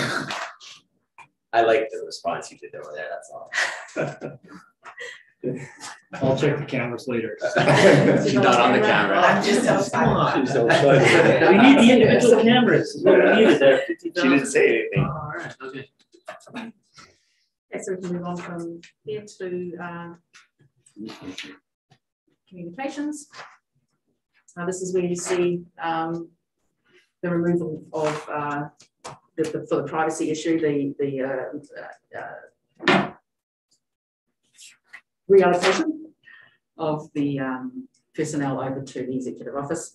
Apart from that, really no change for the, uh, operations for communications department. So any questions on that?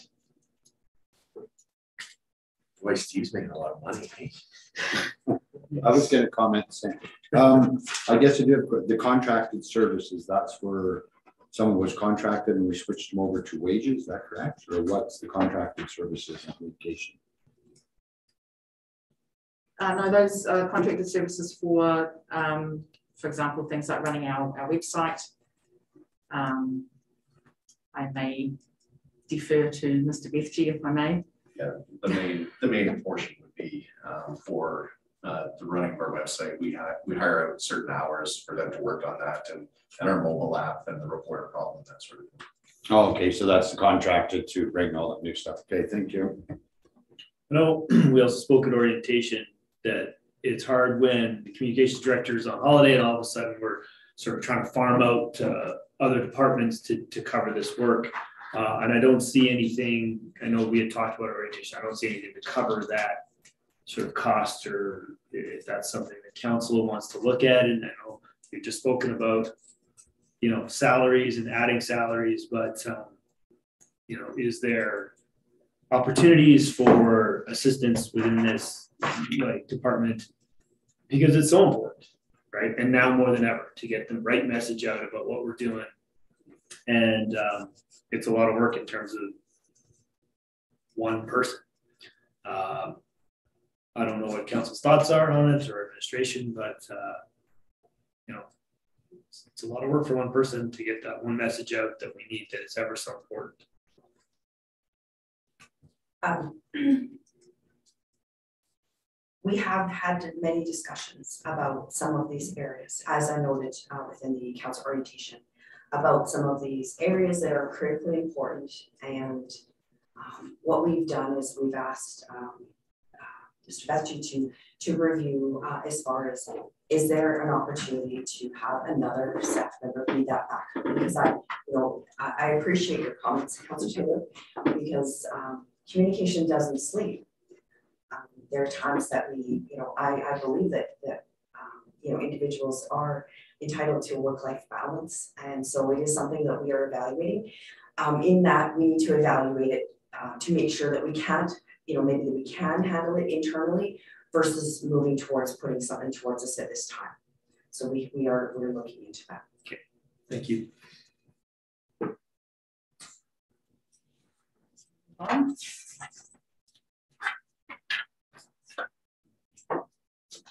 Move on to corporate services. Uh, we have our administration, the, this is the, uh, area where, where, uh, administration has great support for the rest of the organisation as well, so a lot of, uh, of the, of the costs flow through here. Uh, under the revenues, the main, um, change there was the loss of the naming rights agreement that we had with Rexall Place. They were giving us a hundred thousand per year that was going to a reserve. Uh, and that finishes, um, twenty twenty-one was the last year for that. So you'll see that that has gone down there, but also down under the transfers to reserves, you'll see the corresponding transfer to reserve being removed. So that really has no impact on, on the taxation. It's just worthy to note. Ms. Bittner, um, excuse me, where, where was that reserve going into, which? Like, We had it, we had it going into the capital reserve for the multi, the multi-use facility. Okay, thank you. Have we had any interest in someone else taking the naming, the naming rights and how much money? Is it again, just to refresh my memory, how much money were we getting per year on naming rights? It's right there. Right there. It's right there. It was a hundred, no, I thought it was hundred thousand total. It wasn't hundred thousand dollars a year. It was hundred thousand a year, it was a $100,000 million over Yeah. ten years. Or, yeah. it was- So that's what, yeah, I thought. It was a hundred thousand dollars per year and we're not uh pursuing that right now because of the multiplex. There'll be a whole naming rights. Yes, well, no, that's where I was confused. It was a hundred thousand, but it was a million dollars, hundred thousand a year, paid over ten years. Okay, thanks. Uh, there's some, um, there's some uh, increases for auditor assessment contracts, um, items like that. The other main, I think, major amount you can see here is under the other expenses. Last year, we had, we did a utility rebate um, off on the utility bills, so that's, uh, was funded from here. That was the removal of, of that. Sorry, it wasn't funded from here. It was expensed here. But again, you can see under the, uh, transfer from reserves, that was actually funded from the COVID reserve.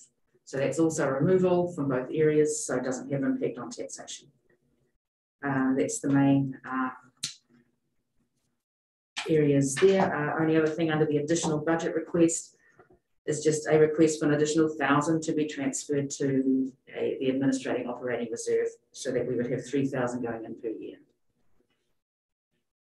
Um, in here it says new lease amount on Wells site until twenty twenty-five. What's that about? within um the town or uh we we do charge for the leases for wells that are within our town that aren't the town wells. It's like they're called well sites. Um is that Mr. Fisher? Yes, yeah, Thank so, you. um, that one, that one I believe is, is uh, a lease for a new metering facility for one of the oil and gas companies that operates in town on one of our properties. Okay. I'll change that to metering site instead of well site, sorry. So that's just the lease we have until twenty twenty-five, so there's a slight increase there for those years.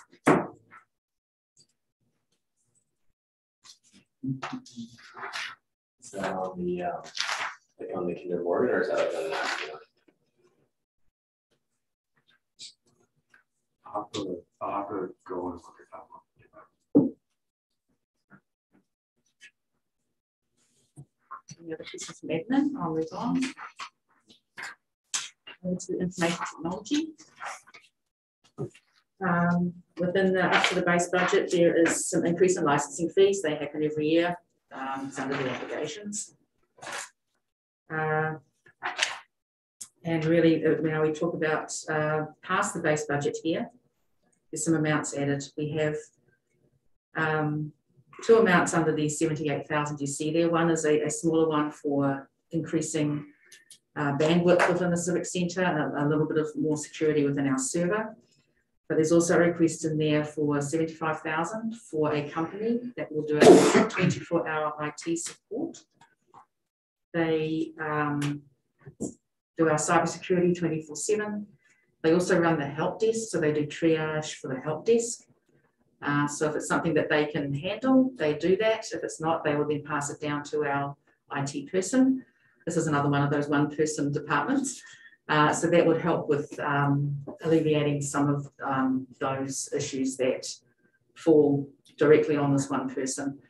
Um, we are um, suggesting this or uh, this additional request uh, to go to this company based on the fact that you then get all the expertise of the people within that company. Um, so that we, we can draw on that through this one contract. Whereas, you know, sometimes if you hire a, a, a single person, they only bring the expertise that that, that that person is aware of. And this, uh, based on these costs, this would be less than hiring a full-time person. But we would have 24 hour coverage of our systems.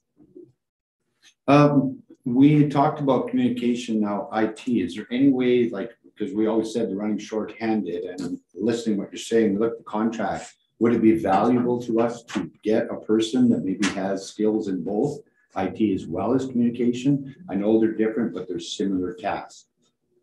Uh, Councillor Chouinard, they are very different. I know it's, um, within here, we do have our IT person backing up our, our, um, comms person in, in times, but they're very different skill sets. No, Um, so to get the, um, I think the level of expertise we would require under both of those departments, um, it would be very difficult to find one person that has both those levels that. um, Well, the only reason I'm mentioning that is because we do have an individual like that, and I, and I fully understand both, but a lot of times when you're hiring a person, they have skills in both. So they are full-time IT, they can back up as communication, and I know Steve, an example, a lot of times, he can help out the other way. They are very different, but it's similar technology they're using. It's just a thought. Oh, sorry. Uh, Ms. Bittner, where is this IT company located? Uh, uh, councillor Moore, um, at the moment, we haven't, uh, decided on a particular company. Uh, this was a, uh, a quote we got just, um, talking to some other municipalities that have, have companies. This would, would go out for a, um, RFP process, a request for proposal process, um, to ensure that we get the company that meets our, our needs. Uh, so we don't actually have a particular company in mind at this time. Is that uh, Canadian or American or either? Would it be? This, the- these would be one of the things that would be within our request for proposal, um, to, uh, to, to narrow that down if, if so desired. Um, with the seventy-five thousand, that wouldn't pay for an on, so if our IT person was on holidays, would that pay for someone to be on site then, or are we still contracted to a help desk? For this company, is that, I don't know what the vision is for this. I, s- I- I believe that is, uh, that there will be someone who would be able to come for the emergencies, things like that. That also one of those things we will put in the RFP. A request for proposal is where we list down all the requirements we wish or desire in a particular project. Um, and then people bid on those based on, on that. So that would be something that would come in, I think, under that RFP process. Because that's the biggest concern that I have, is someone is on, someone's on site, that's what we're going to need for the time period where IT person is taking much deserved days off, so.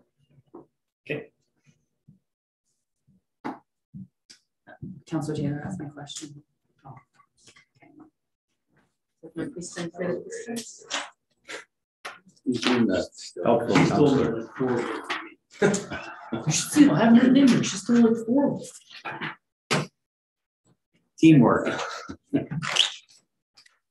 Now we're moving into infrastructure and um planning department. And we have our our new GM with us as well as the interim GM to answer any of our questions, because I'm probably not going to be able to answer all of them within this. Patton Clayton, you're now on the hot seat. He's been here a week, he knows it all. Um, Six days, six days. Well, then we hire Six, them. oh, this was a six day, oh, then, yeah. Done. He's working on a set. That's the six days, exactly. Uh, the first area we have within infrastructure planning is the animal pound. It is run out of the public works building, so it falls under, under the purview here. This is an area that is cost shared with Gallagher County at a fifty percent cost share. Uh, as you can see, um, really no change from twenty twenty-one. So any questions? Is that still contracted out, some of the care, because at one time we're using through ears or when they, are they still running this and we pay them a fee, is that correct? I believe that did not continue. It did not change, so we actually have a staff, uh, a town staff running the pound now. So my question is availability on Saturdays and Sundays, there's no availability? Maybe someone's gonna surrender an animal? A lot of it's done on call, if, if it works, um, so they would call the general line, or we'll schedule something for, for Monday morning if needed, but a lot of it's done on call after hours. The There's reason, actually I'm no personnel dedicated to here, so it actually comes out of our public works budget. the reason I'm asking is sometimes people will pick up a stray cat or a dog and going, oh my God, why am I bothered with that? I picked it up Friday night and now I gotta look after it till Monday morning. So there is a line they can call, because the excuse was brought, yeah, it's run by ears, and I'm going, I don't think so anymore. Because a lot of times strays will show up and people want to get the problem solved. Uh, just, uh, for the guys in the back, if you just speak up a bit, so we'll start to hear you. Yeah, sorry, but the, the, you would call the on-call public works number and, and see if somebody can come in on a, on, on-call, on-call basis. The personnel budget is sitting in our public works budget, not to the animal council. Okay, thanks. One, uh, one thing I will bring up here, because I haven't addressed it earlier, you'll notice a line in here called gross recovery. So I'll explain what gross recovery is within this municipality. Uh, and that, and that, that does actually address the personnel issue that, um, was bringing up. So gross recovery, you'll see it under some of our revenues and you'll see it under uh, some of our expenses. These are those items that are a revenue to one department and an expense to another.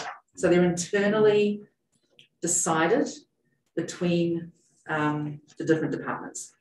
So they have no, no effect on our taxation overall because they cancel each other out. Uh, but we do have to, um, for our financials, um, track them separately so that we know what they are. So here with this, this forty-one thousand gross recovery expense is actually the transfer of, um, uh, estimated labour costs for the town from the public works budget. So when we get to public works, on the very next page, we're going to see some gross recovery revenue. More than the forty-one, but I'll also explain that when we get there, but that's included in that revenue of there and an expense here. That's a, a- a, explanation of what those gross recoveries are. If no questions on council, I will move on. Question, uh, Sarah, on our animal pond here, are we still adopting the dogs out in that, and cats? That is a revenue that would come to us that we adopt to the people here, which would uh, offset our supplies for food and, and everything else in there. Uh, I'm not one hundred percent, as far as I'm aware, um, councillor Bevan, it's been included in the, the sales of goods and services line we have here. Yeah. Um, I'm, I'm certainly still do the adoption. I know at one time there, you could go to Walmart and anything that was broken open, they would give to the town the broken open dog food, cat food, or whatever, and that, and it would save us a lot of money, then people would come and adopt, and it was actually a kind of a large uh, fee that came into us if we were adopting animals over there. I hear that Council Sharada wants to institute cat licensing in town, which would be a huge. Definitely, because I have, I'm all dogs. I'm joking. And seconded by Council Krasinski. I, I did the data cap bylaw You don't want to put a cap on that? this year. I did do cat licensing in one of my other communities, and it actually went really terribly, so, Yes, it always does. um, just to let you know. That's a good idea. Thing is, if you lose your cat and it has a license tag on it, then at least you get your cat back. One, So um, is there anything that we can do differently to um, prevent certain areas of town, even while I was campaigning, I I heard complaints about cats. Um, Is there anything we can do differently to um, either enforce, whether through enforcement or education, um, to kind of, you know, some areas, like, you know, walking, you could see like six cats walking everywhere, and it's like, oh, wow, okay, that's a bit much. Um, and, and, you know, for the people that live there that can't have flower beds, it's quite frustrating. Um, especially if they don't even have a cat. Um, is there anything we can do differently that isn't a, um, you know, like a cat tagging system? Um, or even educational to the public that, you know, they, their cats either get returned or, or encourage them to just even have their own tag, right? I mean, sometimes people have, you know, their own tag, like, hey, lots returned to so-and-so. Um, is there anything we can do differently that, than that we are to help mitigate that issue? I think that's more of a strategic planning question Yeah. than a budgetary question. Okay. Yeah. yeah, fair enough. uh, But I think- a revenue stream. Yeah, I know she's talking about Selling revenue stream, but that's a much, much bigger conversation, so. Yeah, fair enough. Um, I think we'll, we'll hold that, but I think it's a good thing that we need to discuss, for sure. Uh, Remind me, I have a solution for that. I used to raise those kind of cats. Was that Councilor Pichichi? Um, I'll save it for the strategic planning. Oh, you're gonna move that motion forward? We're gonna add a whole day to discuss that, right? Yeah. Okay, all right. I just want to keep us moving here because we still have tons to get through and capital's gonna take some time as well, so. Move on to, to public works. Um, Let's draw attention to the, the gross recovery revenue as we were just speaking about. Uh, that what does include the forty-one thousand you saw, but also public works and fleet has all the costs for our vehicles going through there. So all the maintenance, all the fuel, um, all those costs go to one area. And then we charge the other areas for the use of those vehicles. So there's expenses within the other areas and that comes back to revenue here. So as you see those, just know that they do offset each other throughout the uh, budget. Um, since we went to leasing, and I don't remember how long we went that last year, so have we have any results that there is savings? Because when we changed to leasing more vehicles rather than purchasing, we were sold in, the idea was gonna save us money. Do we have any stats to back that up? That it's better to lease than own? I'll jump in on that one. Okay, Um, so, uh, only a very small percentage of our fleet and the, the vehicles and equipment that we have to maintain are actually currently leased.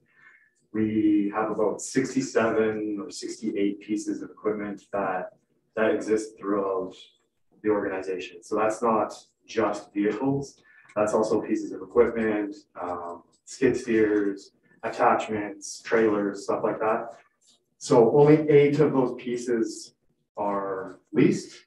Um, so, uh, I, I believe that it would reduce the amount we were spending on those larger pieces of equipment that are actually being leased. But as, in terms of the whole unit, it's not fixing all of our, our maintenance, like, it's just a small percentage. so with the small percentage, that would give us stats, because I agree, when it was sold to us, I'm gonna say, okay, uh, a grader. Because I argue on the other half, if we lease a grader, we have a fixed cost per year. So I'm just trying to compare, like you said, there's only eight out of sixty-eight that we lease, the rest we own. So I'm just looking at what makes more sense to lease, you know, more or lease less, which is better, because where someone, let's say these vehicles that would be a supervisor vehicle and we keep it for ten years, and as it gets mild and wore down, we- in the history, we just passed them on to different departments for less use. So I'm just trying to understand if we could have savings, uh, you know, if we lease seventy-five percent or leasing is not a savings option. Now that time has gone by, I'm just trying to figure out if we have any information on that. I just, I don't know if we've got enough money in our lease budget to lease the whole fleet, so. Sorry, I don't know that we've got enough money sitting in our lease budget, um, currently to lease the entire fleet of vehicles. Okay, I'm just looking for stats and numbers on percentage. Thank you. With the uh, uh, supply chain problems as they are now, I'm wondering uh, what the lease picture looks like for the next few months, weeks. Your name goes on the list. Yeah, kind of, it kind of actually does look like that. So we've had with our, our camera this year, um, there's been a lot of discussion, particularly around the type of vehicle that we were looking at to get with the, the camera system for the sewer inspections. Um, difficulties in changing, uh, electronics for the vehicles, and it's, it's pushed a lot of deliveries for some of the equipment that would, or the vehicles that we would see typically for that. Um, quite a far ways out. So on a lot of those quotes that received and proposals we received, it was to be determined or six or eight months out.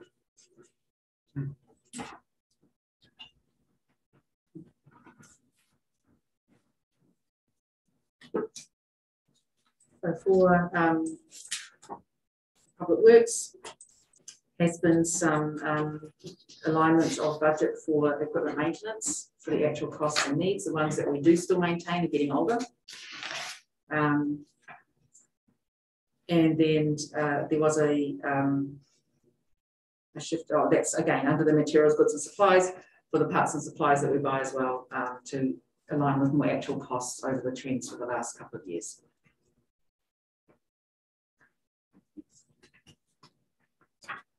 Okay, that's it Works. On to roads. Uh, there was some shuffling in, in the corrections and trends column here. Uh, we did some bank work in Centennial Park last year. Uh, so that expense has been removed. If you look down to the reserves, it was funded from infrastructure reserve. That was also uh, been removed for the twenty twenty-two base. Uh, the uh, transportation manager has uh, moved, uh, just transferred sixty thousand from contracted services to parts and supplies um, to bring that um, more into line. Uh, there's an increased cost of electricity here. The roads budget houses the streetlights electricity bill. Um, and there was an increase there for the electricity of 22,000. So our streetlights under that budget there uh, is now $522,000 a year um, for our streetlights. So that's where it falls uh, within our budget. Uh, Ms. Bittner, is a twenty-two thousand dollar increase in the cost of electricity, is that um, on trend with what we've experienced in the past? Uh, we, um, when I knew that the, we heard the rates were going up, we did have an electricity contract that expired in December, so we started looking around. I actually had our municipal energy manager help me with this, and we went back to looking at a, a what quote unquote normal year's usage. Um, and he has extrapolated out these um, proposed uh, uh, increases for us. Uh, so it's based on uh, a normal usage of a year and without the help of our energy manager to, to estimate some of these increases. Just a question on the uh, streetlights. Um, my understanding is the streetlights along the highway by Walmart. Uh, we actually own and are responsible for them, um, and they have been. There's been a couple lights that have been down for a couple years now. Do we have any plans on getting those replaced? We're currently working with Fortis to, to, to move them out of our purview and into Fortis's portfolio for the re, like, like the rest of the lights in town. Um, there's actually, uh, some issues with organizing, um, how to do the work on those pieces of equipment and finding parts because they're, they're old and not really a current standard. Um, so Fortis is looking on, uh, working on moving that into their. Portfolio. Okay, thank you. I, I don't understand how they'd be old. They were just installed like six years ago, seven years ago. Yeah, So we're having problems finding parts. Is that the short lights? the short ones, yeah, we have two missing. They should be paid for by the person that hit it, should they not?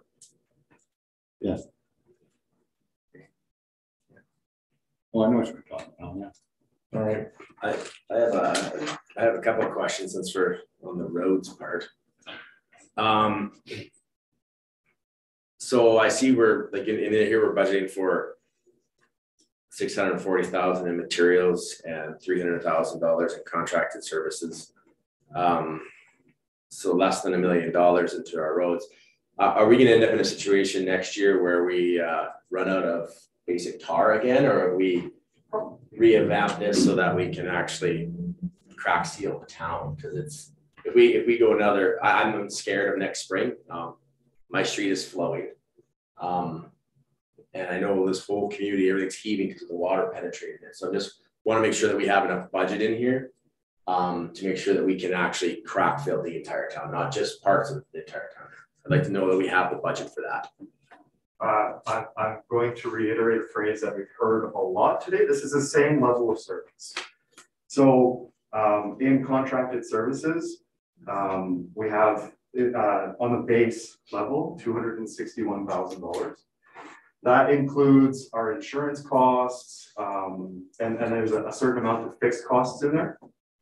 So the amount of money that we have to work with is two hundred and thirty thousand dollars approximately in that budget line.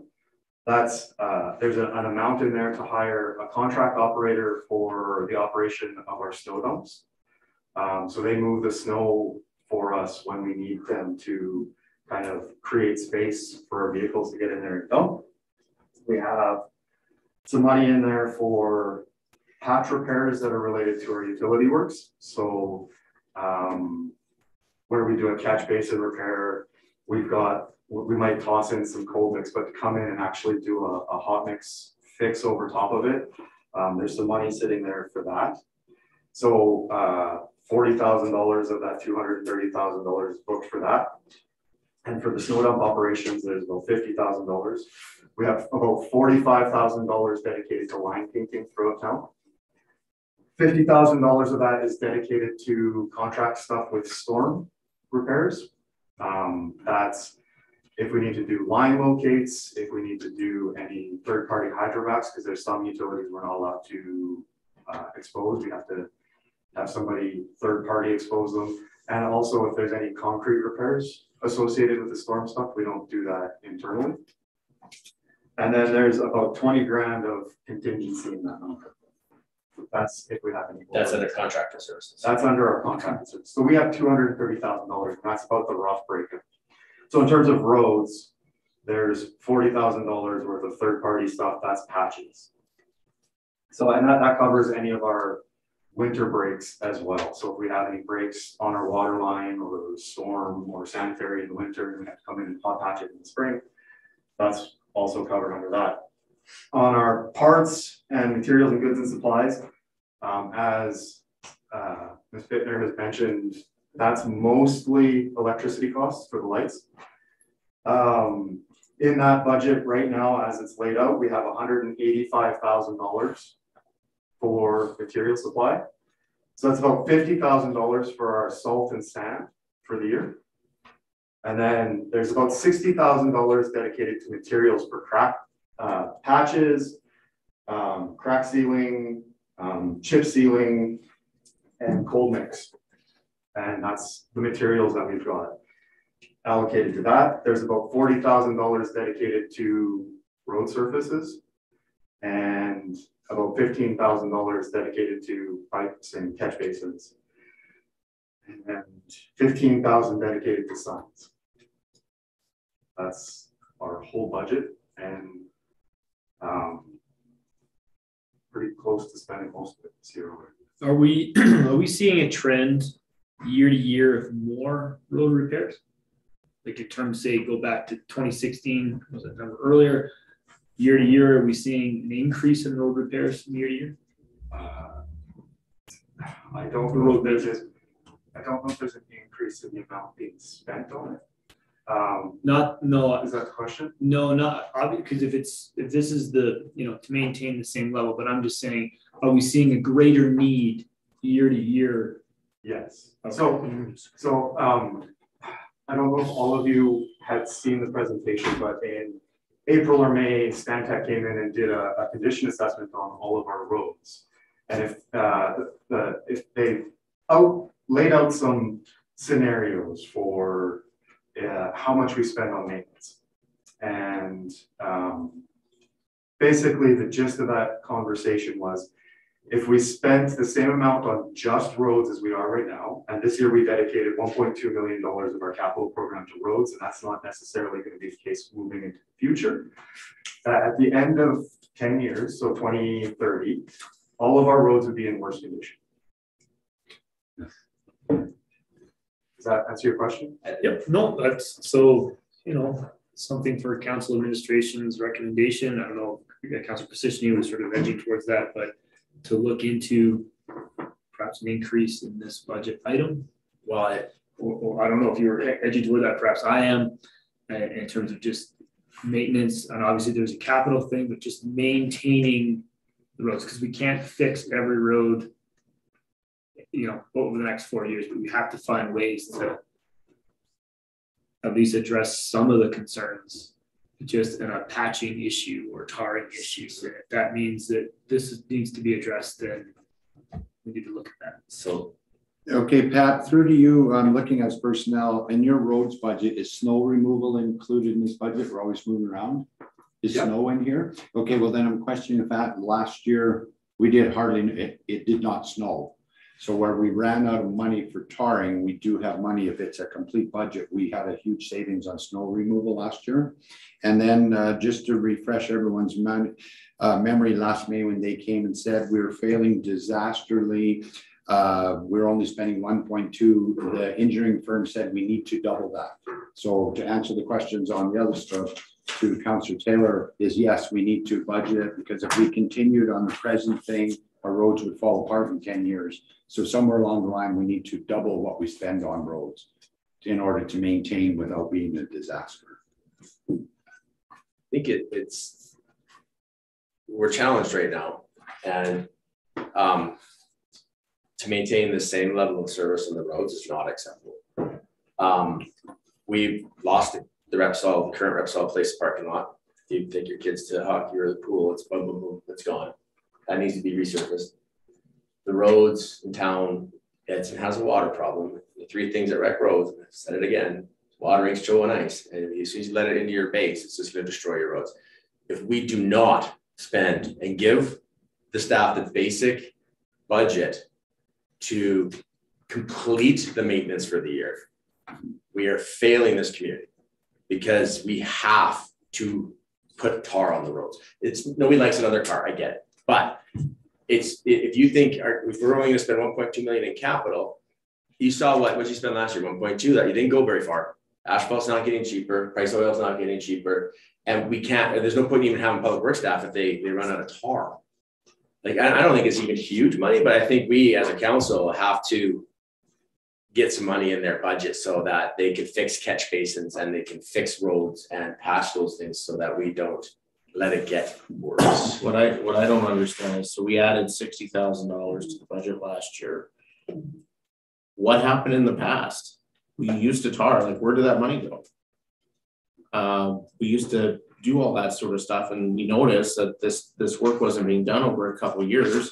So we've added sixty thousand, I think we need to add more, obviously. Um, because you're absolutely right. If you're not, if we're, if we're not tarring and we're not doing those sorts of things to let that water get in, and that's part of the reason uh, we're seeing such huge failures right now is because the wet conditions we had over the last couple of years.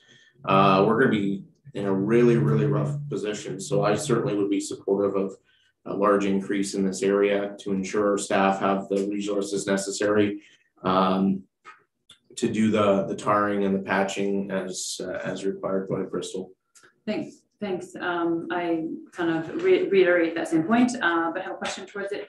So what additionally do we need to spend to get the materials to uh, maintain the roads throughout town as well? Do we have the staff, the current staff level to do that? Or is that something that we can contract out as, as well? Um, I'm not sure what's the most cost effective way to do this. Um, and how much would that put us towards our our report card. Um, we have an annual deficit of one point six million. I, I don't know if that is encompassing exactly in the budget that you had on the screen, um, or if that's kind of uh, a variable amount uh, of work. Um, like, is, is that what we need to just maintain the roads? Um, or, or what, what is the number that we require to, to just do a complete maintenance program? Are we talking just on the roads? So, so, and that, and that's where I'm, I'm, I'm not sure, like, you know, this report card, if that, how, how that is divided out. If Um, you're, if you're looking at the, the report card, the, the, I think it's, there was seven million dollars that was required annually for utility, uh, and, and rate supported, um, uh, infrastructure, and that's maintaining that. Um, so doing replacements on the existing piping and the existing water services. Um, that is not growth, that is not, um, finding new water wells, that is not doing any of those things to expand. That is just maintaining what's in town. And then there's another, I believe it's two point five or two point six in the, the report. Um, so that's online. You can find it at the Town of Edson webpage.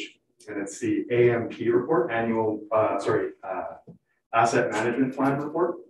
Um, there's a, an annual requirement for two point five million dollars a year for tax funded um, infrastructure as well.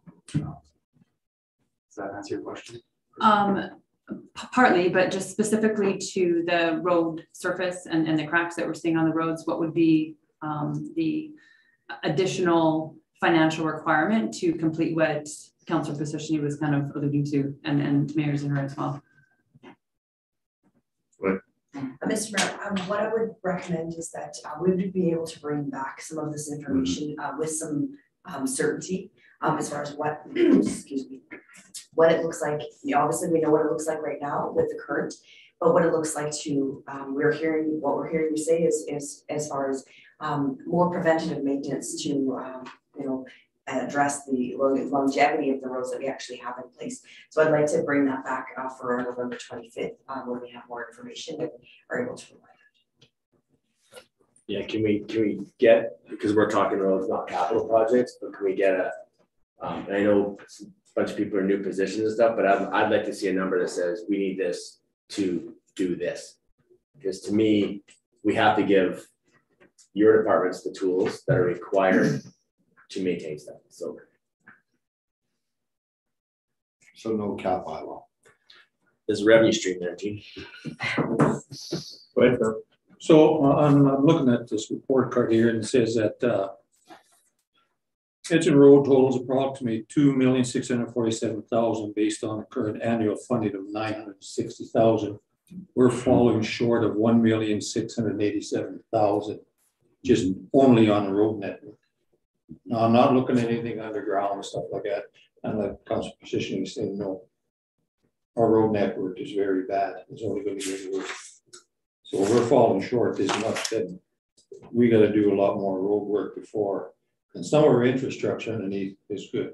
And I know we still have paper lines running out there on First Avenue for sewer and everything else and that, which we're gonna have to address sooner or later. But I'm just looking at town as so we're running this one point six eight, one million, six hundred eighty-seven thousand dollars short every year. I can see in twenty thirty, we're gonna be twenty million dollars in the hole we gotta find. So I believe that we have to put more money back into our road networks. And with that, breaks and everything else, we have to do other stuff too. Uh, Before we move on from roads, under the service changes, you'll see there's a hundred thousand dollars um, there. That is a request to reinstate the sidewalk contract. Uh, many years ago, we, we did have some money set aside every year to do sidewalks. This is a request to reinstate that. That would be a, under the service change, it's an increase in, in the current level of service. And it would not be funded because it would be ongoing into the future. So um, and then they have also requested ten thousand dollars to go to, um, to contribute towards the operations reserve. So is that building new sidewalks or repairing sidewalks? That is repair. Okay, thank you. Repairing sidewalks is very expensive, is it not, Mr. Fisher? Yeah, yeah, that's up pretty quick. Um, basically, we're doing stuff. All right, So shall I, shall I move past this one? uh, just, uh, on the signs piece, uh, you mentioned, Mr. Fisher, fifteen thousand dollars towards signs. You know, we had a lot of vandalism over the last year, uh, is that kind of reflective of vandalism of signs or just maintenance of signs? Mostly maintenance at this point. Um, I think, uh, we're prioritizing, we're not doing and replacing all of the signs right now because we sort of hit the, the, the limit of what we were funded for that. Um, again, uh, there's a lot of vandalism this year. Um, so it's, we're prioritizing those uh, impact stations mostly. We still have those breakaways. Moving away from them, good. Yeah, so you guys are cementing them in now, right? Uh, the new ones I believe, so. Yeah.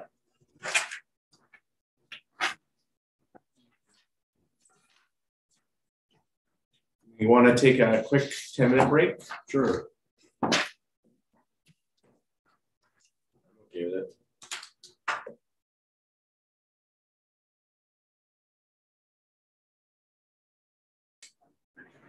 You all right? I relinquish the chair to Councilor Meyer.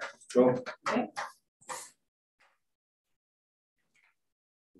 Sorry, we jumped the gun there a little bit. Let's moving on Everybody to, watching at home probably just not. The two people. How many are watching? Three on YouTube. Double digits. Hello, everybody. Double Oh, digits. Do a big shout, big shout out. Okay, sorry, keep going. Okay, go ahead, Ms. Bittner. Thank you. Moving on to uh, airport. This is another uh, cost shared with the county at, this one is at fifty percent also. Uh, As you can see, looking, there isn't really a, um, a lot of um, requests or or corrections done here. Uh, They are requesting under the additional budget request twenty-five hundred to start with, uh, getting an operations reserve for the airport. Twenty-five hundred only? Oh, Just to deal with things that might pop up. Okay. That, an example of a thing that might pop up, uh, Councilor Taylor is, um, snow clearing. Uh, so like if we have a really heavy year, that's a separate budget at the airport, and separate equipment for maintaining the environment. Thank you. What do you mean separate equipment? Don't we use our equipment there? But when they run the equipment, it's budgeted differently. Snow removal is not included in the airport's annual operating budget. Snow budget? removal is included in the operating budget for the airport, Yes, but it's just the airport, if that makes sense. And it's a separate piece of equipment that we would use on the other stuff, or the, the rest of the roads, it's a, a liquid de-icer. okay, thank you. Any other questions on airport? Yes, I shall move Yep.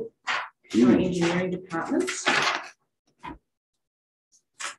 Now, last year, we had a, we received a grant for uh, what's called uh, maintenance manager, which is an addition to our asset management software, um, like a work order system.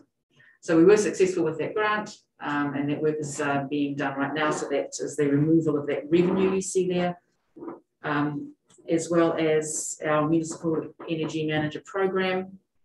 Uh, is due to run out in September of this year, so there's a little bit of uh, decreased amount there as well.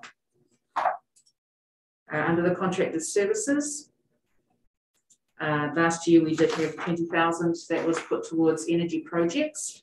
It was funded below, as you see, from transfers from reserves, so you see the twenty thousand also being removed from the reserves transfers.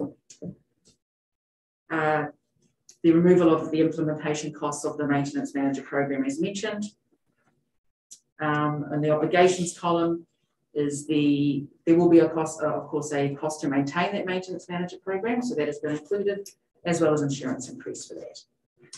Um, Ms. Bittner, um, for the maintenance manager program, is that the program where, um, when something on a road or, or an asset gets repaired or, um, the condition changes or something noted on it it gets into that system, so then the entire organization would have a broader overview of what's happening? That's correct, yes, so we were working, and it's linked to the asset involved, so you can see the work being done, so it gives us more idea on, um, you know, the amount of work being done on a particular asset. Okay, so, Um, and within the service changes, there's uh, an extra ten thousand being asked for service changes would be um, addition to the asset management GIS as well, it's an upgrade to the mapping system. Uh, right now, the maps sort of are, are stagnant and give us what we had. This one would be more of an interactive one that would be able to um, bring better uh, visual aids for our asset management program. And our other one is uh, just a an ask for external consulting supports, an extra five thousand to help with um, engineering our, our projects with engineering. Uh, under the additional budget, uh, there is a um, request for twenty thousand for bridge inspections. This is required every five years. But if you look down to the transfers, I am um, proposing a that that be funded from the infrastructure reserve, so they would have no impact on taxation. Uh, 150,000 you see under the infrastructure reserve. You're wondering, wondering what is that being carried forward? Uh, we had in the budget for 2021 to get our engineering standards, um, um, a program, uh, a project to get our engineering standards updated. Uh, that wasn't completed in 21, so that's just been carried over to 22. So any questions on that? Uh, my question is, I'm just trying to go through the line, twenty thousand for bridges, how many bridges do we still own? A lot of them went to culverts. A culvert's considered a bridge. Oh, that's what I'm trying to figure out. There's only one bridge left that I can think of. So it's bridges and culverts with water going through, correct? It is all bridges and culverts. Okay, because that's where I was confused. Twenty grand to inspect one bridge? Uh, no, no, there's, Okay. there's several, and there's, there's actually one that's in dispute with Alberta Transportation in terms of ownership. We'll let them own it. That's, I'm trying to. Okay. Yeah, sorry, some of these descriptions may be the financial person's interpretation of. Okay, thanks. Uh, So I'm glad I have uh, my, um, my team to, the team to back me up here. Are you cost sharing some of that back though, off your expense because they're helping you? Just a question. On this twenty thousand that uh, you're putting in there for that. We were actually putting zero dollars into the annual funding of that. Would that go into the report card we got? Uh, Sorry, Councillor Bean, which, which amount were you asking about? Oh, you're saying you're putting, uh, was it twenty thousand dollars in here for budget, for inspection every five years? All right, this is a, this will be an operational cost, Oh, so. Okay, I'm just looking at this report Yeah, where we have hundred looks- and ninety-four thousand, but we're putting zero. Into your annual deficits, we got deficit of hundred and ninety-four thousand for our bridges and culverts. So This is just looking at it. Just looking at, okay, no, sure. So here's my question is, okay, this is, if this gets approved and added into the budget, can we not leave that in every year? And for the years we're not doing the bridge inspections, it goes into reserve to pay for that, help fund that, or some other road maintenance programs? Instead of taking stuff in and putting it out and just so we have a level of consistency there, like when I look at this, if we're gonna put twenty thousand dollars and we only need to do those inspections every five years, the remaining three years, that money should be going into an operational reserve.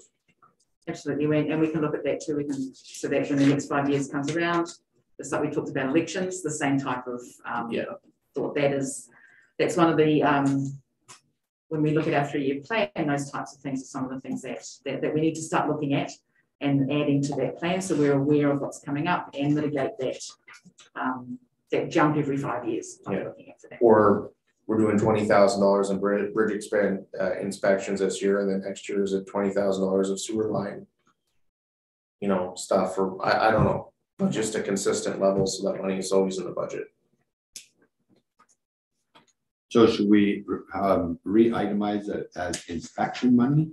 And then you can use it for bridges, roads, whatever. That Make more sense?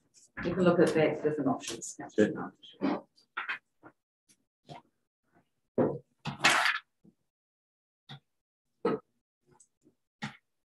Okay. Moving on to our um water department. Uh, across and then looking at the revenues here. Um, the increases you see under the correction and trends are our, our um, operating, just our annual operating cost increases. Under the obligations are those things that we talked about that affect the water department that uh, are an increase that are uh, from external sources. And over on the additional budget is that amount that would be added to our reserve into the future as well for the asset management plan portion of the utility rates. Uh, Under the uh, expenses uh, for water, um, there was really just a um, remove some studies, uh, removal of the study and corresponding reserve funding. Um, addition of a new ongoing requirement for a hydrologist report and an increase to insurance and electricity. Uh, under the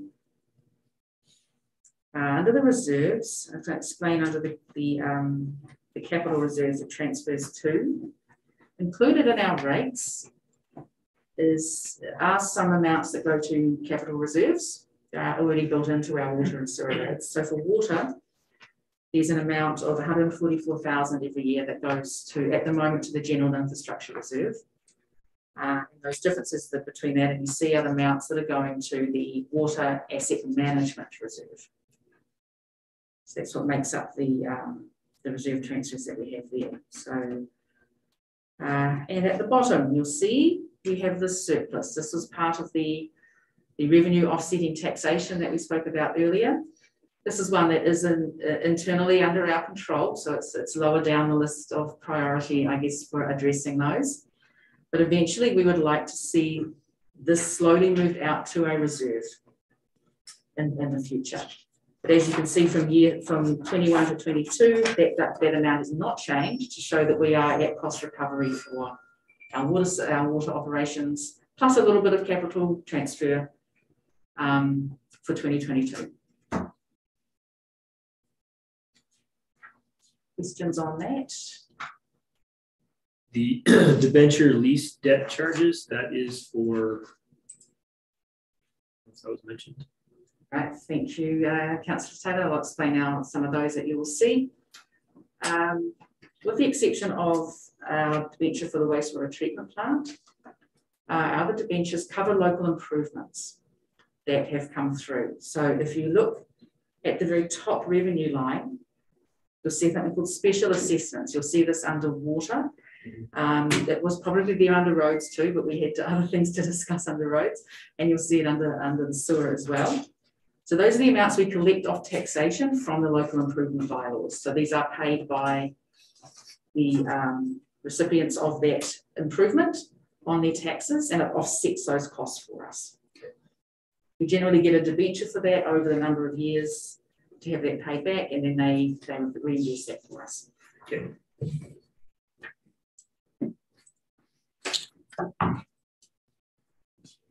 So move on to our sewer system. Um, Again, the, the revenue increases there are the same explanations as for water, our increased operational, plus the, uh, the uh, uh, additional budget here. The, um, sorry, I may just have to confer with Mike for a moment. Can you remind me of this? Full split, yeah. Uh, it's a thousand one hundred for the asset management uh, increase and hundred and fifty thousand for gray water contracted Thank you, thank you. So yes, so we, uh, the two hundred and seventeen under the additional budget is for, for those two items, addition of, uh, grey water sales, also, um, some revenue uh, projected for, um, receiving of, of septic as well. Um, and sixty-seven thousand of that would be the asset management plan in addition to the utility rate. What, what, um, what has been the increase in the, the gray water? What, what's driving that? An agreement with a third party that they'll buy some of our gray water and return it back to, uh, our wastewater plant for treatment. Thank you.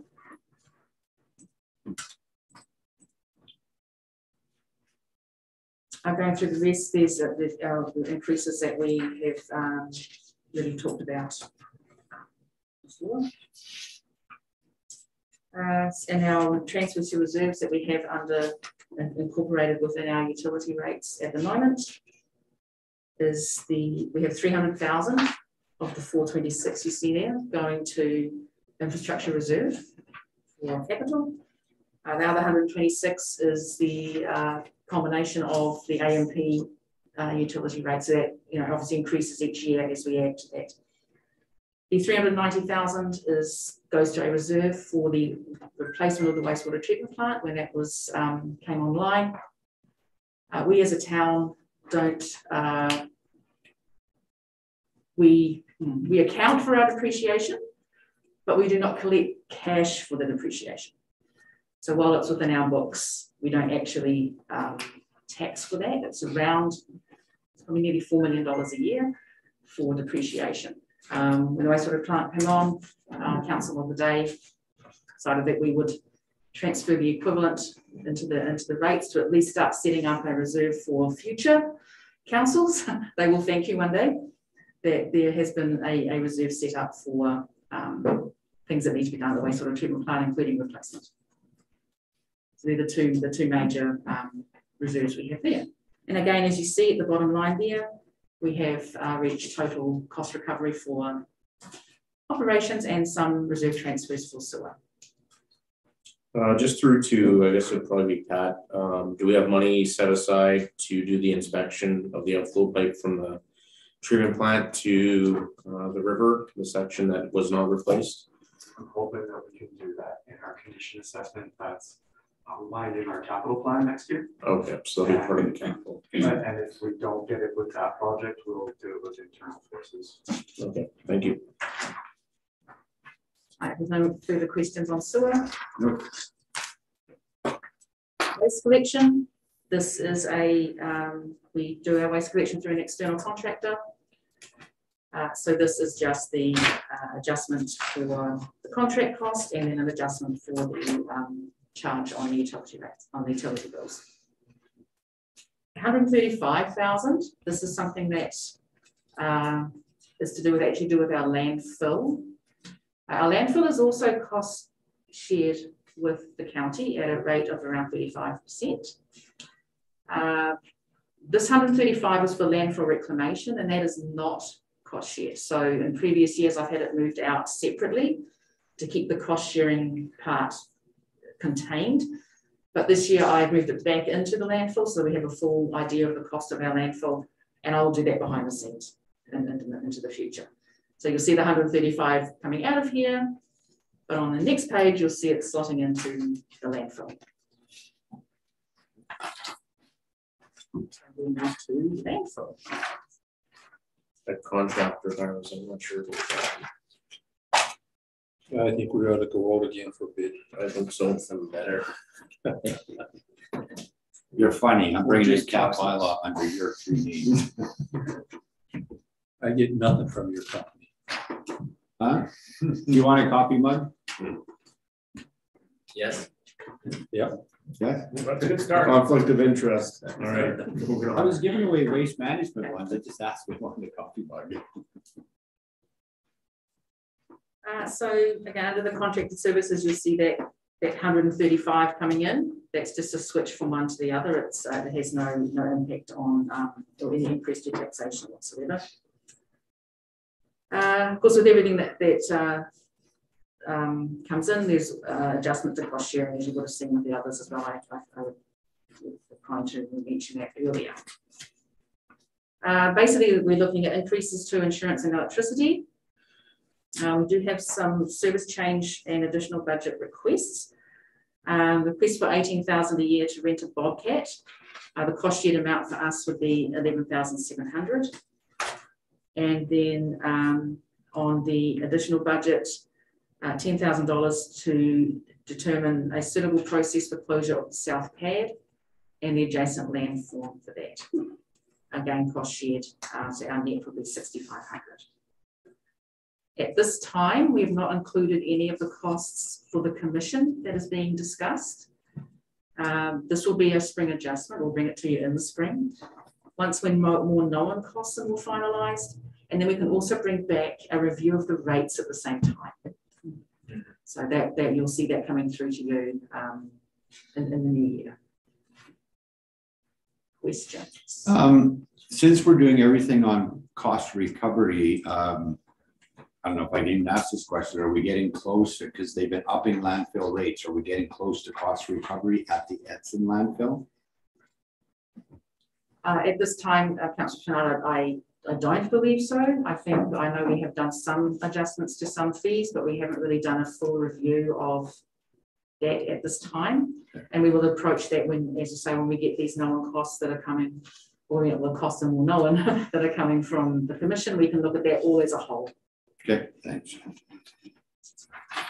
Just, uh, rent a Bobcat for eighteen thousand, is that for a full year or is that six months or whatever? It's a program done through, I believe it's AUMA or RMA. So it's, it's a municipal lease program, so it's actually spread out over a term. Yeah. Um, and they make sure that that equipment is basically refreshed during that term. It's a, it's a very good deal. That's what I was wondering, was good deal or not. We, uh, as a part of the landfill rates, uh, previous council would have heard me speak about this. Um, we are gonna have a separate rate for out of town haulers.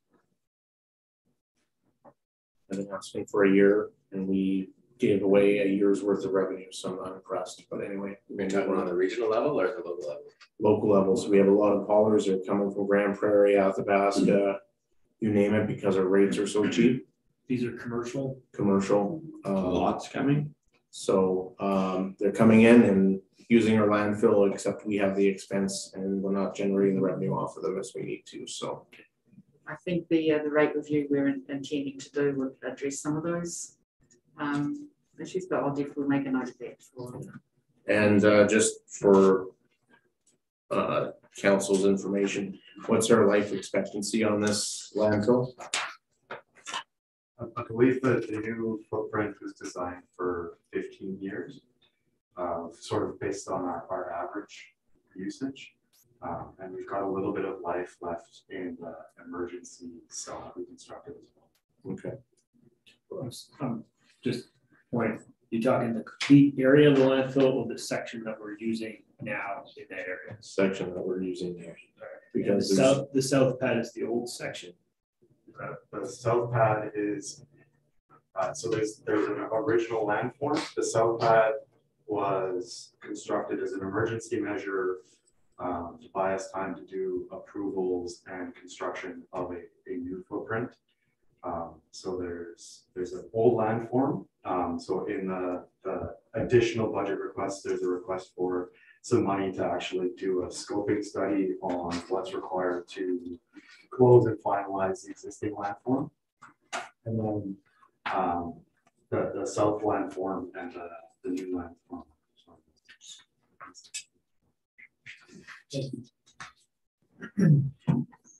because of the wetlands, uh, what we have there now, I don't expect, won't have any room to expand in the future. Because of changing provincial wetlands policies. We'll get right on it. Yeah. All right, Moving on to recycling, this is another area, solid waste collection. Where we are recovering the costs through the utility bills.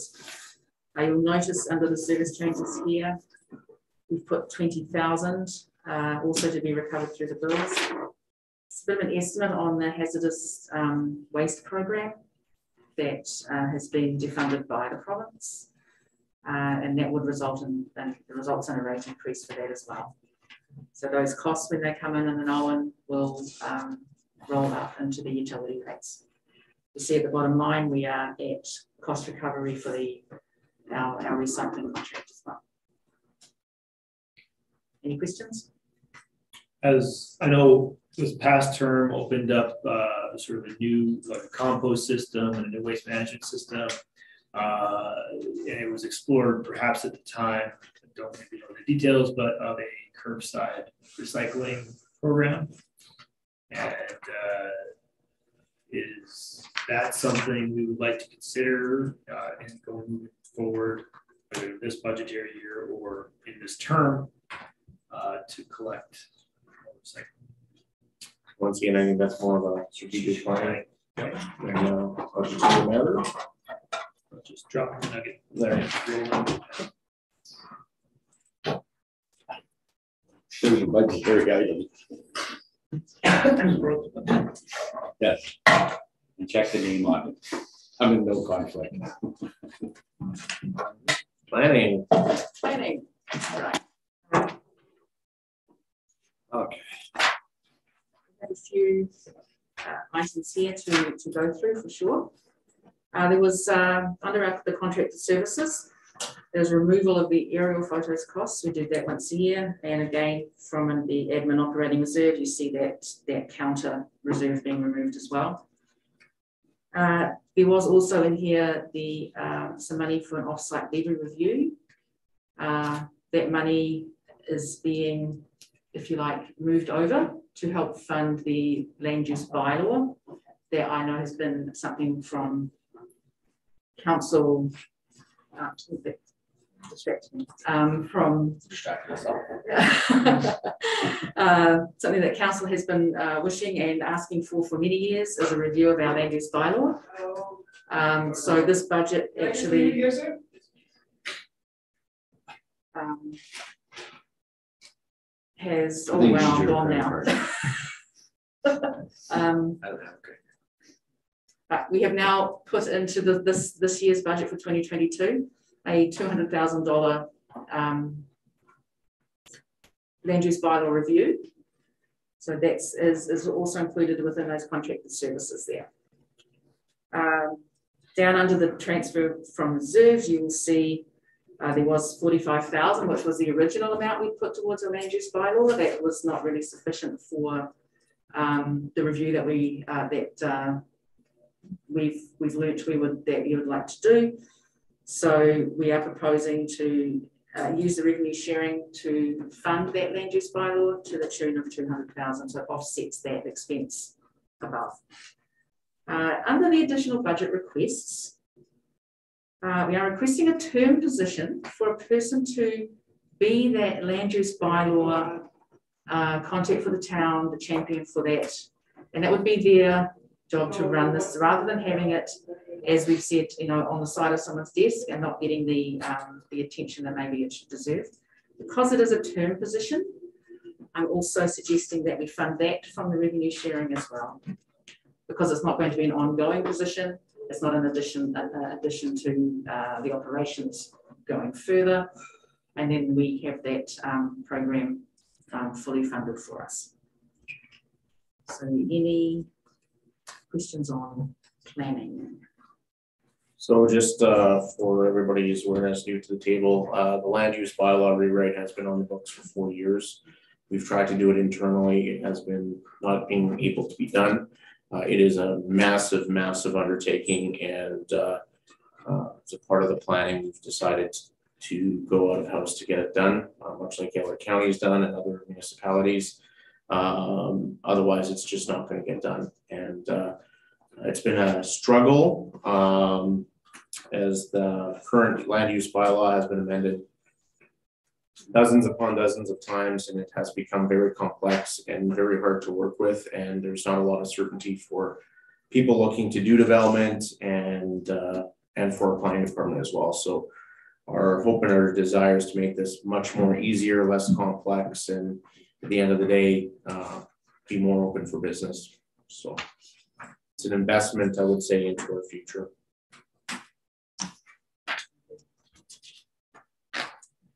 Any further on planning? Yeah, one more. So Ms. Bittner, so the two hundred thousand allocated for the rewrite for the land use bylaw, that does not include um, the position to do that, the term position? That's correct. That is, that would be, um, if we engage to do this for us, that, that term position is, will be that liaison between that contractor and us. And, uh, be able to lead that project, um, and give them information, all that sort of thing. They will be able to be that person who can do that and concentrate on that, um, entire project.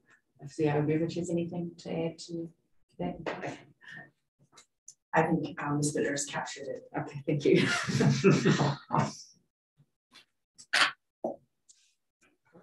I was gonna ask you a question, but no, carry on. So the click faster, okay. Okay, I That's do that. okay.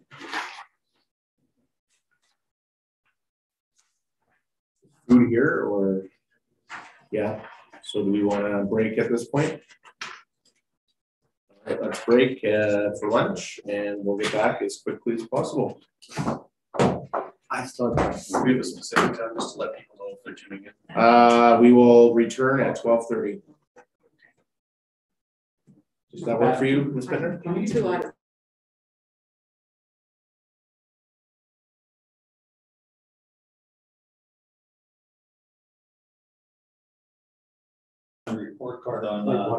Trevor, Trevor. yeah, Trevor. just- just- Trevor, you, Trevor, she's gonna carry on for two minutes. oh, you're carrying on, sorry, I thought you said. I'm so Continue. sorry, I should have spoken up a little bit. Yeah, earlier. no, We just go have two more, two more items within this particular, Get twice now, Steve, I said everybody off to turn it back on. We left, or was gone. Yeah. he's used to I me, know it's fine. Okay, so, Green light, red light. Oh, boy. uh, moving on to economic development. Uh, this is one of where, if you remember way, way back, when we talked about the executive office, uh, we had uh, an additional position here, we reallocated some funds to create a position for an economic development um, officer. You see that in that personnel column there. Um, we also did some reallocation of funds from the, the land and uh, subdivision budget, which is coming up next, over to economic development as well. Uh, we do also have an ask under the additional budget requests. Um, we do have a loan program with Community Futures West Yellowhead. They have uh, $300,000 we allocated to them um, to, to help businesses, um, you know, through COVID, to help with economic development within our town for businesses, they could have an interest-free loan, um, up to twenty-five thousand dollars. We extended that interest-free to twelve months. Uh, as it hasn't had a, a lot of traction. Um, so we are suggesting that we bring one hundred thousand of that back. And then that would give this, this new department some, some funds to actually do some really good, or start some really good work for us for economic development. I'll hand it over to councillor, uh, CAO member. To, um, Newly elected. Uh, thank you, Ms. Bittner. Um, so with, uh, with regards to this area, uh, when we speak about, um, the areas in which we are challenged, um, with the, with, uh, expenses increasing, um, and, and really the revenue side of things. When we look at that and we think about, okay, um, what are we able to move forward and try to, um, start to uh, offset our, our non-residential, because I understand, um, you know, with this council has already um, established that's a, you know, part of our strategic plan from two thousand seventeen to twenty twenty-one, essentially that there was, was to be some work towards that. And in reviewing, um, you know, of course, the strategic plan that is in place, um, it, it states that prosperity is no accident. And if that's to be the case, in essence, then there needs to be a clear dedication to resources. Um, the challenges being um, over the past several years, um, there has been, there has definitely been work towards it, but it doesn't seem to be hitting um, enough of the mark. In a sense, uh, when we look at our council progress matrix, when you review that within your uh, materials for council orientation, um, there are some key areas that are uh, directly linked to economic development. And as it stands right now, economic development is housed within planning and development, and there's fourteen thousand dollars allocated to this area. So in recognizing that and looking at, um, you know, it, the man, the ability to possibly look at a long-term plan for this organization and for the community as a whole, we feel that this is a very uh, critical um, for this to, in order to uh, increase our revenues, um, be, able, be able to enhance um, the, in essence, the, the interactions uh, also with our business community and also attract um, businesses to our community. So some of the things that the, an EDO, uh, an economic development officer can do is essentially they can be they become that conduit between the business community. They speak the same language as the developers in, in essence. Um, they increase and enhance that customer service. And you've heard about, um, you hear me speak about customer service and the levels of customer service that this organization would want to increase and elevate that. Um, this person becomes a dedicated promoter of the town. And it's not, in essence, um, it's not, it's not just the, the, the big things, it's also the little things. It's that conduit between uh, West Community, um, West Yellowhead Community Futures. What's happening um, right now, in essence, we don't have a liaison for that person to deal with. Um, and, and the challenge is, is there's some really good strategies that are being brought forward by um, West Yellowhead Community Futures. And we just, uh, unfortunately, just don't have the capacity to deal with it, uh, to be able to move forward with some of these um, and create a partnership um, more so um, really understanding what our business community needs. So we're not just talking about uh, new business, we're also talking about current business. We want to make sure that we're, we're listening. Um, one of the exercises that we went through um, very early on in, in my tenure here is, is understanding um, whether or not uh, the small uh, small business loan was was something that we a we wanted to continue with or b we wanted to go with a grant understanding our business community was critical in that and unfortunately internally we did not have that information so we leaned heavily on our Chamber of Commerce. We leaned heavily on West Yellowhead Community Futures. And the challenge remains is that um, we just, you know, internally, we just don't have the capacity. So with this, um, you know, we've spoken about the land use bylaw rewrite. This person also would be included in that. Economic development and planning development are, are you know, in essence, in order to create a, be business friendly, we need to understand our community. We need to be able to um, have that conduit. And I've seen this uh, work in, in my, my experience with other municipalities. Planning and development and economic development um, there's there's there's two pieces of that, and we need to make sure we understand what that looks like, and but it's working together, and and that's where it can work the best. So, I guess to to bring this kind of full circle is we you know the recommendation is to make a conscious um, decision to make this intentional, uh, to create some long term plans um, this is not a short game. This is not something we will see immediate returns within six months, within possibly a year. We might be able to deliver some quick wins. There are some items on our past strategic plan in which we will, will review during our, our 2022 um, uh, session. We'll be able to understand what this council's vision is. So until we un understand what that vision is, um, and and be able to really fully um, review where we want to go as a whole. Um, we think that this is a pretty critical position. Um, this is, is something where we've seen other organizations um, really flourish and in, in essence is, is um, increase, you know, ultimately the goal when we talk about alternate revenue sources, when we talk about things, uh, the expenses are going up and that is a reality. So what do we do on the, the revenue side? And this is, in our view, is something that we feel that would be beneficial. And we hope the council considers this seriously. Um, so CAO Beveridge, you just championed everything I had written down on this page. Uh, my speech was really awe-inspiring and you just accomplished all that and actually stole all my thunder. Um, it, it boils down and I'll just, it takes money to make money we are going to have to spend some money here, not just this year, but in the few years to come to bring businesses to fill the storefronts, to fill Main Street and Second and Fourth Ave. Businesses that bring families, that will purchase homes, that will build homes and provide revenue streams for us.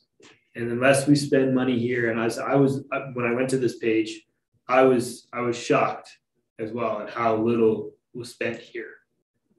It, uh, you know, and, and now we need to spend it, especially as we're recovering from COVID, now more than ever. We are hitting revenue stream problems. It's not a spending, maybe not a spending problem. It could be a revenue stream problem. We need to bring in more, uh, more families to purchase homes. And if hiring an EDO is, is the way to do that and to coordinate that, that's what's going to have to happen. So thank you for addressing that ahead of me. Okay, on this economical development person, over the last thirty years, I don't know how many times Edson has done this, failure every time. I know we need to address it by hiring a person, history proves it's not the right thing to do. So during our strategic planning, if we can get the right person to go on the right thing, because history shows it's a waste of money unless we do it right. Thanks, uh, through to administration. Um, this is something that um, I'm, in favor of. I, I think that uh, Edson has been very um, lucky in the past, uh, and not just Edson, many communities in Alberta where um, that are surrounded by oil and gas. We've had um, natural booms, um, and of course the bus that come along with it. We, we've been fortunate for so many years to have uh, so many businesses come to town or build businesses either in our region or, or right in our town um, and families that have come with that. Um, I think if we want to progress and to diversify our economy, um, I, I, think Edson is in an excellent position to do that. We just we just actually have to do it. We have a double lane highway, we have a railway through our town, we have access to water, we have an airport that can bring in the big planes. Um, we have a lot of assets in our region, uh, or sorry, right in our town, and and even in our region, and as well as um, the access to the high-speed fiber optic internet. Um, I've, I've heard of communities just outside of Toronto and Edmonton even that don't have access to um, fiber optic high speed. And unless we do something to attract businesses or to attract people and to promote the, those assets that we have, um, we're never going to be attracting anybody to do it. And I think we have a lot, um, a lot of great things. And um, this also requires collaboration with our county. We're not, I think, in a, in a vacuum with this. Um, and, and I think that if, if we can start to work on some of those things to diversify our region, um, then, and, and if this is the conduit to do it, then I'm in supportive of that. So this uh, person would be able to uh, attend trade shows and and plug Edson opportunities, I I take it. Uh, Council Moore, um, I, I will touch on, to be very clear, when, when and if this is something that the council, um, believes that is, is the right move, council would be able to set the direction. Council would be able to set the vision as far as what you see, you know, as far as being the outcomes. So I think that's, yes, that is definitely something that that person potentially, uh, but it is, um, having a professional that understands what the, what it takes, uh, to increase and enhance the profile of Edson. Yeah, you know, over the eight years I've been sitting on here, we've have talked about it and that, and being on community service uh for that long too. Going to their seminars and listening to other uh communities, uh wherever that have a development officer. They are doing better. Some aren't, but I guess it depends on who you hire. And like you said, what you want them to do, what council wants them to do in that. And I think we have to take on that responsibility to set whatever we want the roles of them to do in that. If we don't, it's gonna go by the wayside again. And, and I think we have to really take a look at doing it. I like the idea that perform a dual role. And not take on, uh, just not that, but you said to take on another role, rewrite on the bylaws or stuff like that, or offset levies. So I think we could utilize them in that way. I'd be in favor of, you know, we talk about it and see what we can do. And put our heads together and come up with a solid game plan. Plus with administration giving us their input and also keeping in touch with community futures. Because they got a lot of history in that with all the other communities all across Alberta. And they could tell us what works and what doesn't. And as Chris and I were at the meeting here just a while ago, we actually did touch on that. Nancy did touch on it. And I believe she was gonna come and talk to her CAO Beveridge on it too. So it is in the works, and I think, you know, we should keep it going right now and really, really take a look at it and see where we can benefit from it. It's, um, it's just over one percent tax increase. Yeah. Um, I'm not against it. I struggle with EDOs because I've, I have a history of seeing what a lot of them do. Um, you grabbed my attention and you said working with planning, because if you don't, it'll fail. It'll fail miserably, because that's a big challenge in our community right now. Um, if you can't get a permit, then an EDO is just a waste of money. Um, I would like to see some kind of measures or uh, deliverables or some kind of a matrix of, and I'm sure you've got experience in this, so you you have that set up. Because to me, I don't mind spending money if we're going to get a return on investment, but I really struggle spending that kind of money um, to have somebody go to trade shows and try and sell us to some other politician or some other EDO. That that's not effective use of someone's time. Um, if you, it sounds like you have a plan for it, and I'll support that plan. Um, but I would like to know what kind of deliverables, because and some way that we as a council can measure it um, and see some results. And I understand it's a long game, um, but I, again, I, I I would need to have some kind of deliverables on it. Just because I've I've I in my history have seen too many EDOs. Um, at a lot of golf It- it- It's directing them to be aggressively bringing businesses to Edson. That is, and, and like, you know, that, that'll be part of our direction, strategic planning and part of the plan, but it, it, it's about being that aggressive. It's not just hoping that they come. It's, Yeah, it, the challenge you, always have in a community of our size is, is, um, I'm not, I'll never support a tax break, because any community that needs a tax break to come there, it's just there for the tax break, and as soon as it's gone, they're gone. I mean, a prime example is Dell in the city of Edmonton. They had a tax break as soon as it was over, poof, they're gone. So that's not the kind of, that's not attracting business to our community. Um, but working with our planning department to make our zoning and things better, that it is more attractive. And then people go, you know, Edson's the place to do business. It's the hub for the region. I get it. I- I'm for it, but I, I need to see some kind of deliverables. But uh, you seem to be passionate about it, which I like. So uh, I'd roll with it. I, uh, I agree. we, we have talked about this a long time, and, and when we talk about tax increases, uh, we haven't had the assessment growth that we need in this community for a number of years. And as expenses rise and you don't have that growth, and that, those costs are borne on, on the existing taxpayers.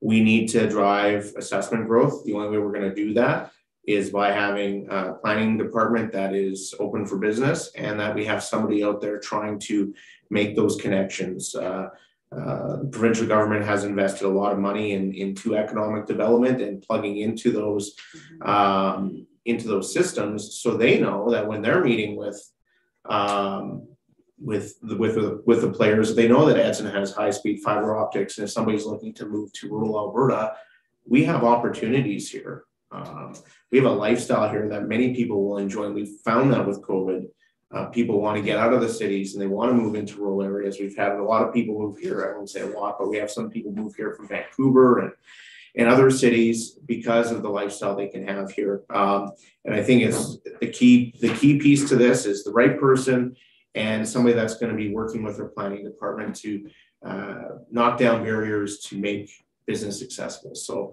um, I'm very supportive of this, and I think we need to try. We need to invest. Um, and I think that benchmarking and measurables are, are vitally important so we can see three to five years from now, has it had the impact we need? And if not, then it has to be reassessed at that time.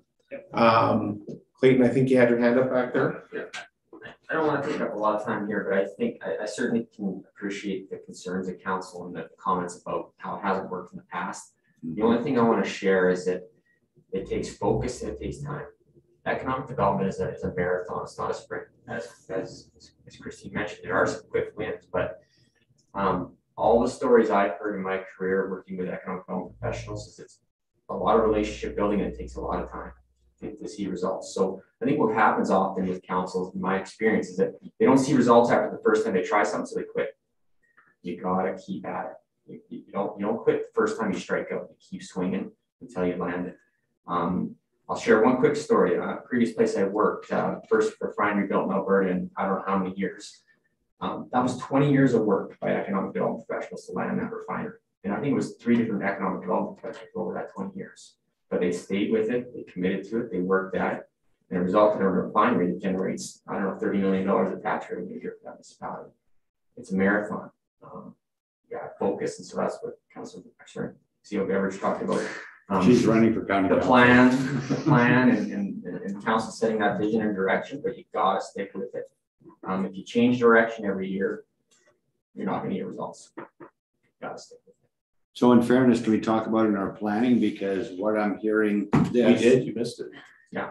No, we had one in August, made no sense, but my thing is, is where Steve's department, because he is advertising and being like that, if you integrated them, I'm going with your sprint idea, where maybe something to join instead of hearing economical development. I think I was quoting the paper was in that 1992.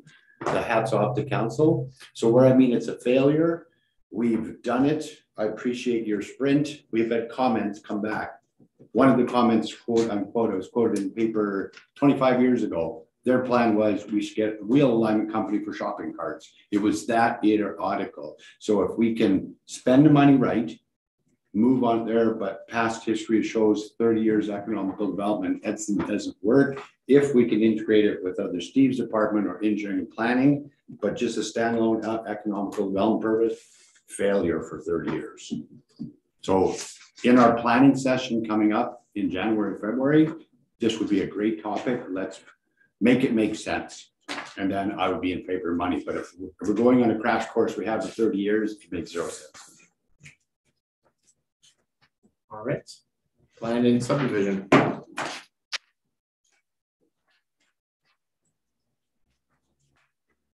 This the last one within the um, construction planning area. Land and subdivision is the, uh, of the sales of our, of our lands. Uh, we generally um, budget for around three lot sales per year. Um, that hasn't changed here. Uh, you'll see the uh, the reduction in the contractor services is the we did have these lots with realtors and we had uh, contracts with them and case they sold. We haven't really seen much traction there, where I moved that over to economic development when those contracts expired. Um, This includes all, all lands like Hellendale or both, I say both commercial and residential. Yes, it's all, all about land sales. And as you see down the bottom, it's actually um, neutral for taxation. Any monies um, that we may receive through sales goes directly to our reserves. We may have what, a seventy-year supply of residential properties? Depends on the boom. Last year, seventy got sold out in like three years. It all depends what's happening. Mhm. I mean, this would promote clean coal, we could explode overnight. Yeah. But instead, he doesn't promote Alberta. We'll just put some more caps in place. Can we sell this land to Quebec and then indirectly fool the federal government that Quebec did sales and would sell this? And give them a water bottle kind of thing and maybe it'll work. All right, that's it. That's it. Thank you. Lunch will return at twelve forty-five. Perfect.